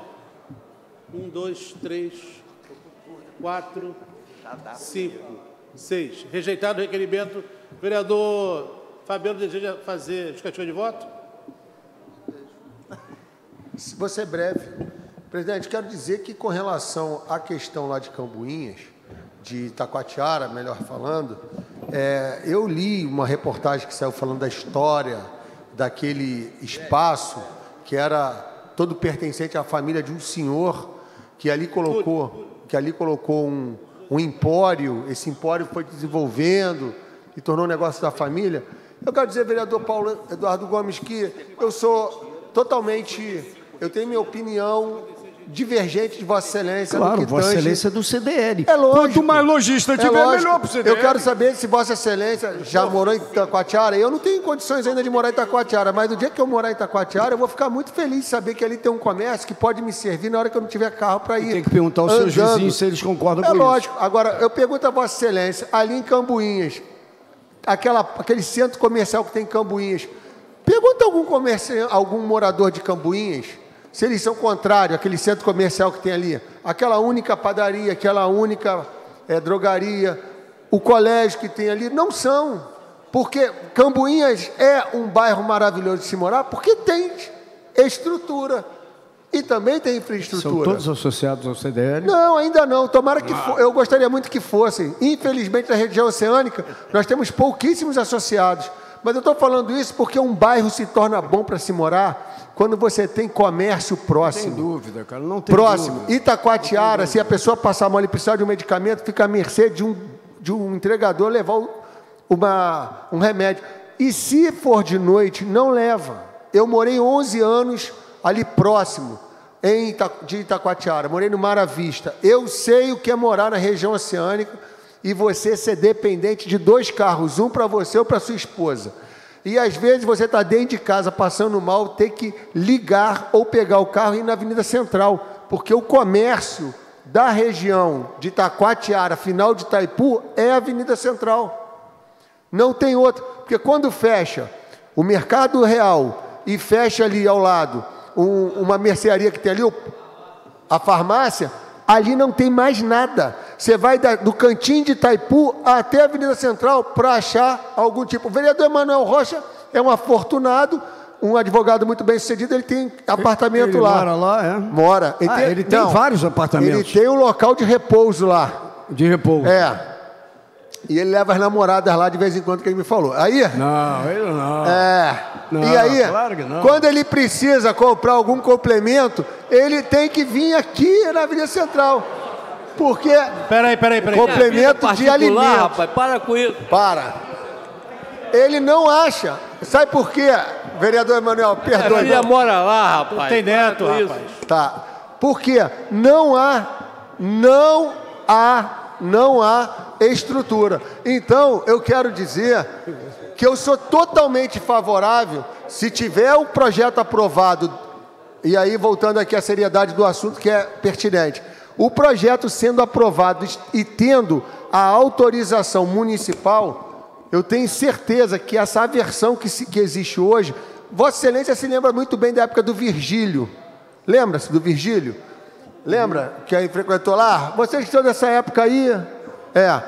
O Virgílio, quando acabou, foi o caos, porque acabou o Virgílio. Mas entrou ali, eu acho que é uma. é, uma bombonier, alguma coisa assim, uma- uma- tipo uma padaria. É uma delicadeze, delicatese que entrou ali. Eu duvido se hoje a população de Itacoatiara é contrária àquilo ali. Não é. Entendeu? Então, acho que a gente tem que, que, que, que estar atento. Agora, me preocupa, vereador, sabe qual é que me preocupa? A gente está discutindo isso, que é um projeto que está sendo aprovado na prefeitura, ao passo que a gente pega um quiosque igual o Macau, em Cambuinhas, que é uma verdadeira obra de arte. Aquilo tem projeto? Tem projeto? O Macau? Me Eu parece que não. projeto. Me parece que Não não. E a gente, eu não vi uma discussão nessa casa sobre a questão do quiosque ali de Cambuías e Macau. Não tem. E você vê uma obra faraônica. Agora aqui, ó. Voltando ao caso do Itacoatiara, foi instituído hoje, está aqui no decreto. um comitê para discutir a questão das orlas. Está aqui. Antes tarde do que nunca, Antes né? tarde do que nunca. Estou discutindo isso desde o primeiro Isso, governo mas Lula. foi instituída uma comissão, a Secretaria de Meio Ambiente, presidente, vai presidir os trabalhos, para dar a solução aqui, ó. Mas quando a gente fala de Itacoatiara, parece que o projeto de Itacoatiara é muito nocivo e a gente não discute o que está acontecendo nos outros quiosques. Então, em outras questões. Então, eu quero dizer que votei é, favorável no projeto, mas entendo que a, o- a questão em si ela pode estar mal produzida e mal comunicada. Mas se tiver aprovação da prefeitura, eu entendo que vai ser benéfico para a população de Itacoatiara. Sabe, eu- Eu vou, eu vou terminar, eu vou terminar, eu vou terminar. é, depois ele vai dar uma parte. Eu vou terminar para dizer apenas o seguinte. Várias vezes eu já disse isso. Não adianta você ser médico se você não for médico para servir a sociedade. Não adianta você ser urbanista, arquiteto, engenheiro, etc., se você achar que a engenharia, a medicina ou a arquitetura serve a você próprio e a sua vaidade pessoal. A diferença entre vários de nós é o significado que nós temos sobre o controle social. Não adianta dizer que eu estou ouvindo o povo, se na hora que eu decido fazer alguma coisa eu desconsidero o povo. Foi feita uma crítica ao Ministério Público sobre uma obra no centro, mas o que o Ministério Público está questionando é não ter impacto de vizinhança, que é algo previsto no Estatuto da Cidade. Então você não tem, não tem. Você, ao querer defender o governo, não, está defendendo o governo, não tem. Não tem impacto de vizinhança. O projeto foi lançado. Ah, lê aí. Ah, está sob análise, mas o vendedor, o vendedor anunciou fazer o edifício. Vossa Excelência vai vir aqui comigo, ó. Vou ler com Vossa Excelência, ó. Número 200. Ah, Numa região localizada em Aham. Vereador, Que já vereador está Fabiano, não vou poder dar a palavra a Vossa Excelência. sim, está sendo. É só, só para caracterizar isso, porque é uma Está diferença de conceito. Para mim, controle social significa, é, por exemplo, o Renato e mais o Bagueira estão querendo discutir um polo gastronômico no Barreto. Quem tem que decidir se quer ou não quer é a população local. Não sou eu, déspota esclarecido, que estudei todos os livros, que vou dizer que tem que ter. Quem tem que dizer isso é a população, é o controle social. E se a gente tem, se a gente tem, e aí eu não vou dizer que ele está querendo mais lojista, não, para mais só associado do CDL, não. Pode ser que seja até verdade. Agora, quem tem que decidir se tem um único comércio, conforme a lei, em Itacoatiara, ou várias lojas naquele espaço, é o povo de Itacoatiara, não sou eu. Então as pessoas acham que o voto recebeu o título de vereador, posso decidir aqui o que bem entender sem consultar a população. Tem limite, tem limite. Bom, a pedido do professor Túlio, estou retirando o requerimento 54, 56 e 60. Eu me comprometi com o Fabiano, de 10 para as 7, dar a palavra a ele. Quero aqui ressaltar que nós temos apenas oito ou Presidente, nove requerimentos. tem autorização de Vossa Excelência para ouvir o que ele vai falar em 10 minutos? Claro. Obrigado. Quero aqui, só um minutinho. Presidente. Só um minutinho, gente, só um minutinho. Só... Não, vou precisar- Túlio, professor, por favor. Nós temos aqui ainda alguns requerimentos que eu acredito na pauta do dia a gente termine. Porque eu me comprometi com o vereador Fabiano que se quando fosse 10 para as 7, daria a eles. E aí, se todos concordarem, a gente faz amanhã logo. Tem algum problema? Quer, quer que. Mas assim, ô, presidente, eu posso só pedir uma, uma questão? Porque eu falei rápido, eu tinha quatro coisas para falar. Eu falei duas e segurei duas para a gente acelerar. Eu posso falar dos meus dois pontos também? É, Ok, mas aí vou colocar os requerimentos para amanhã. Peço a Vossa Excelência que seja breve. Tudo bem, tudo bem, tudo bem. Tá? O, o vereador Fabiano vai falar primeiro? Ou eu falo depois? O, o vereador Fabiano vai falar Primeiro, eu vou- falo. prometo ser regimentalmente comprometido com o horário. Vereador Túlio, Vossa Excelência deseja falar? Não, eu já estou aqui, presidente. Mas o professor Túlio pediu Ele vai falar após de mim, presidente. Ele é Tem professor. problema nenhum. Eu sou apenas um bacharel, Nós ele é temos doutor. 10 minutos. Vossa Excelência fala 5, ele fala 5. Professor Túlio é tricolor igual a mim, pô. Bem, presidente, olha só, o assunto que eu quero abordar nessa tarde, nessa noite, já é a noite, né? É o seguinte, presidente. Presidente, Vossa Excelência comeu todas as paçoquinhas. Não deixou nenhuma guardada para acalmar o vereador Paulo Eduardo Gomes. Presidente, pela ordem. O assunto que eu vou tratar nessa tarde, nessa noite, é um assunto de extrema relevância. Eu hoje recebi às duas e meia da tarde no meu gabinete o doutor Maurício Mano e o presidente da Associação dos Servidores, o também doutor Arthur Martins. O assunto que foi trazido é um assunto extremamente relevante para todos os servidores ativos e inativos da Prefeitura de Niterói. Veja, presidente, mais uma vez eu quero aqui enobrecer a sua posição de aprovar o PCCS dos servidores dessa casa. E eu tenho certeza que Vossa Excelência vai implantar na totalidade esse mês o PCCS dos servidores dessa Câmara. Correr bem, quinta-feira já está na conta dos funcionários. Aí, servidores da Câmara Municipal de Niterói, na quinta-feira terão o recebimento do salário com o seu PCCS integralizado. Nobre da vossa parte. Nobre. Tomar Paulo Eduardo toda hora no meu ouvido. Bem, nota 10 para ele. E o salário dele, ó. Bem, agora veja só, presidente, olha o que, que está acontecendo com os servidores aposentados no município de Niterói. Existe a lei, o Estatuto do Servidor, que é a Lei 531 de 85, ela é anterior à Constituição. Logo, boa parte dos artigos dessa lei ficou em desconformidade com a Constituição, não foi recepcionado pela Constituição Federal. O artigo de número 98, inciso 4, fala especificamente sobre o desconto previdenciário para a concessão da aposentadoria do servidor.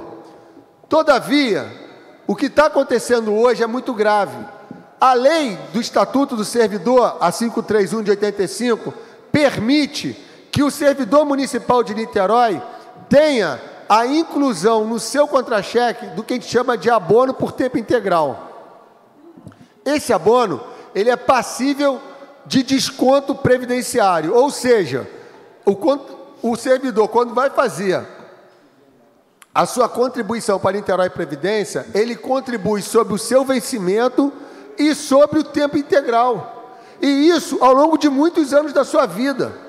E existe uma lei municipal da época do procurador Raposo que diz que quando o servidor ele tem um abono de tempo integral por 48 meses ininterruptos ou 60 meses intercalados, ele faz jus à incorporação desse abono na sua aposentadoria. É, a gente chama, a terminologia é incorpora nos seus vencimentos. Essa prática, ela foi é, acolhida durante muitos anos. Todavia, de dois anos ou três anos para cá, mudou-se o entendimento do TCE. E o, e o TCE, que é um órgão de controle externo, está comunicando a Niterói Prévio, vereador Renato, para que retire do, da aposentadoria ou da pensão do servidor, da pensionista do servidor, o valor do abono de tempo integral. Tem pessoas que têm 40%, 50%, 100%. Então, existem inúmeros casos de servidores que estão que, que se aposentaram com valor de aposentadoria de dois, três salários mínimos e com a perda do tempo integral que contribuíram. Estão recebendo abaixo do salário mínimo nacional e estão vivendo de complementação de aposentadoria por parte da Niterói Prévio para não ganhar o mínimo que é o a, a, a Constituição não permite que ninguém ganhe mínimo de salário mínimo de remuneração. Vejam, senhores, estamos diante de um grande dilema. Se o município de Niterói desconta do servidor o que ele entende que é devido, porque o tempo integral é uma gratificação, é um abono que se 48 meses ininterrupto ou 60 meses intercalados faz jus, e a pessoa, quando pede a aposentadoria, é feito apostilamento do seu, da, do seu valor de aposentadoria, contando com esse, com esse abono, e quando ele vai para a Previdência Municipal, o TCE de ofício manda retirar, é lógico que o presidente Moacir vai cumprir. Agora vejam que descabimento. A pessoa contribuiu, aquilo está incorporado na vida dela. No momento que ela mais vai precisar, que ela vai gastar dinheiro com remédio, é, é, é tirado quase 50% do, da aposentadoria dela, do valor da aposentadoria. E aí fica a grande questão: se a pessoa contribuiu, o município não pode enriquecer sem causa. Ou a gente encontra uma saída legal, ou o município, e aí a NITPREV, vai ter que restituir a esses servidores essas contribuições feitas ao longo do tempo. A gente chama de repetição de indébito. Pois bem, a repetição de indébito, você pode pedir os últimos 60 meses. São 1.300 associados na Associação dos Servidores. E aí eu pergunto: o que vai acontecer com essas pessoas? Ou elas terão o seu direito preservado, e aí a culpa é, é a questão legal. A gente precisa estruturar uma lei para ajustar a 531 de 85. Porque do jeito que está, não pode continuar. E eu estou aqui porque eu me comprometi com o presidente Arthur, Arthur, Arthur Marins, acho que é isso. Acho que agora falei no calor das emoções. E o doutor Maurício. Porque é inconcebível o servidor agora ter que entrar na justiça para tentar ter o seu direito. E pior, já há o um entendimento no pleno do Tribunal de Justiça de que não tem procedimento para manter essa, esse abono na aposentadoria desse servidor. Me permite uma pequena claro. parte? Com o aval do tricolor, é sete e meio o jogo, né? Com o aval do tricolor, presidente Cal. Se eu fosse usar de um discurso parabólico, ele não está ouvindo. Aí, agora, Está perdoado pergunta. dessa vez. Tá, me perdoe. Está perdoado dessa total vez. Total atenção. Mas não vou perdoar o tempo todo. Se eu fosse usar de uma parábola,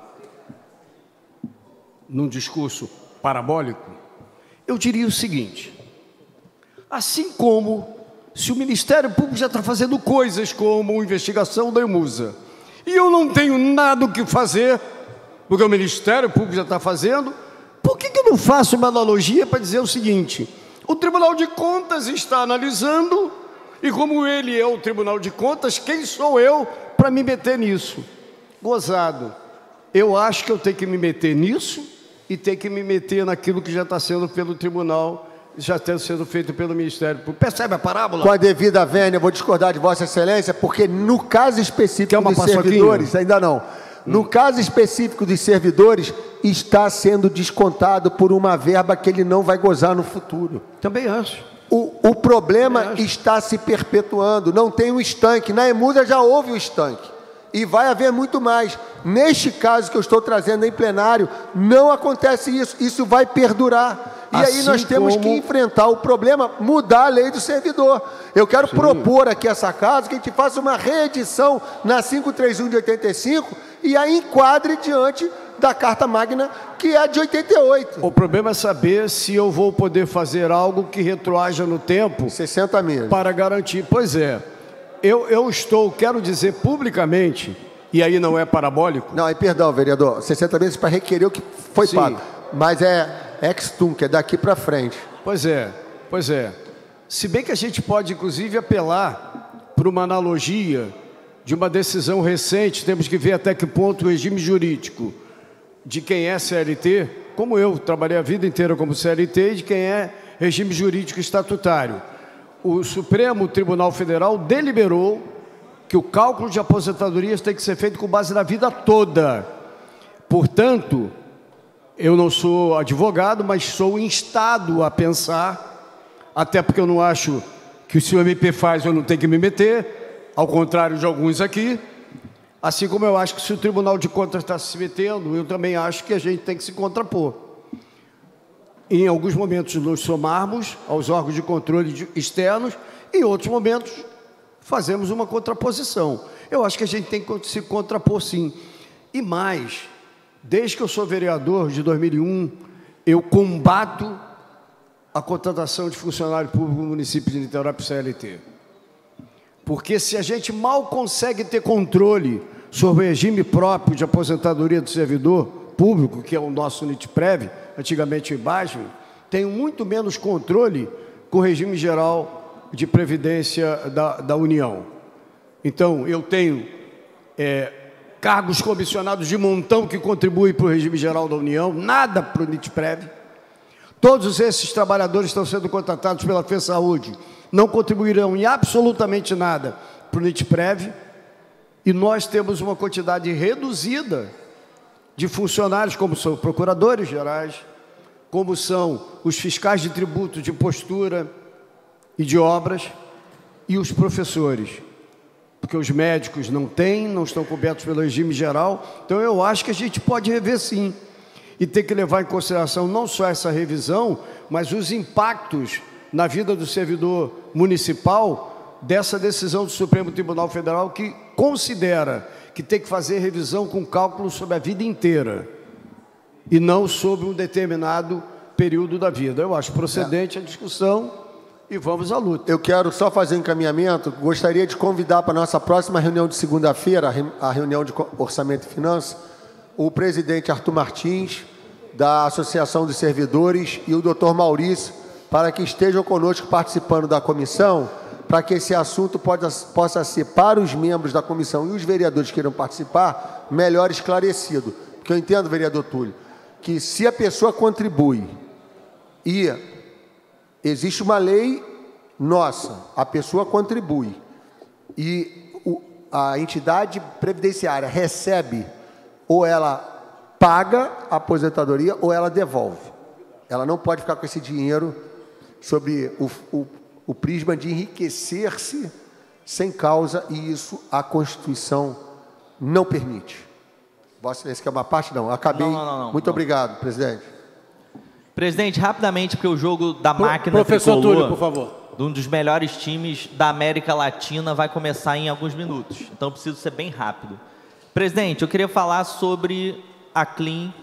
Nós tivemos ontem uma movimentação, um ato na porta da prefeitura dos garis da Clean, é, protestando contra as faltas de condições básicas para o trabalho e também contra os salários. Então não é segredo para ninguém que eu fui ao RJTV há umas duas semanas atrás para falar sobre a questão da Clean.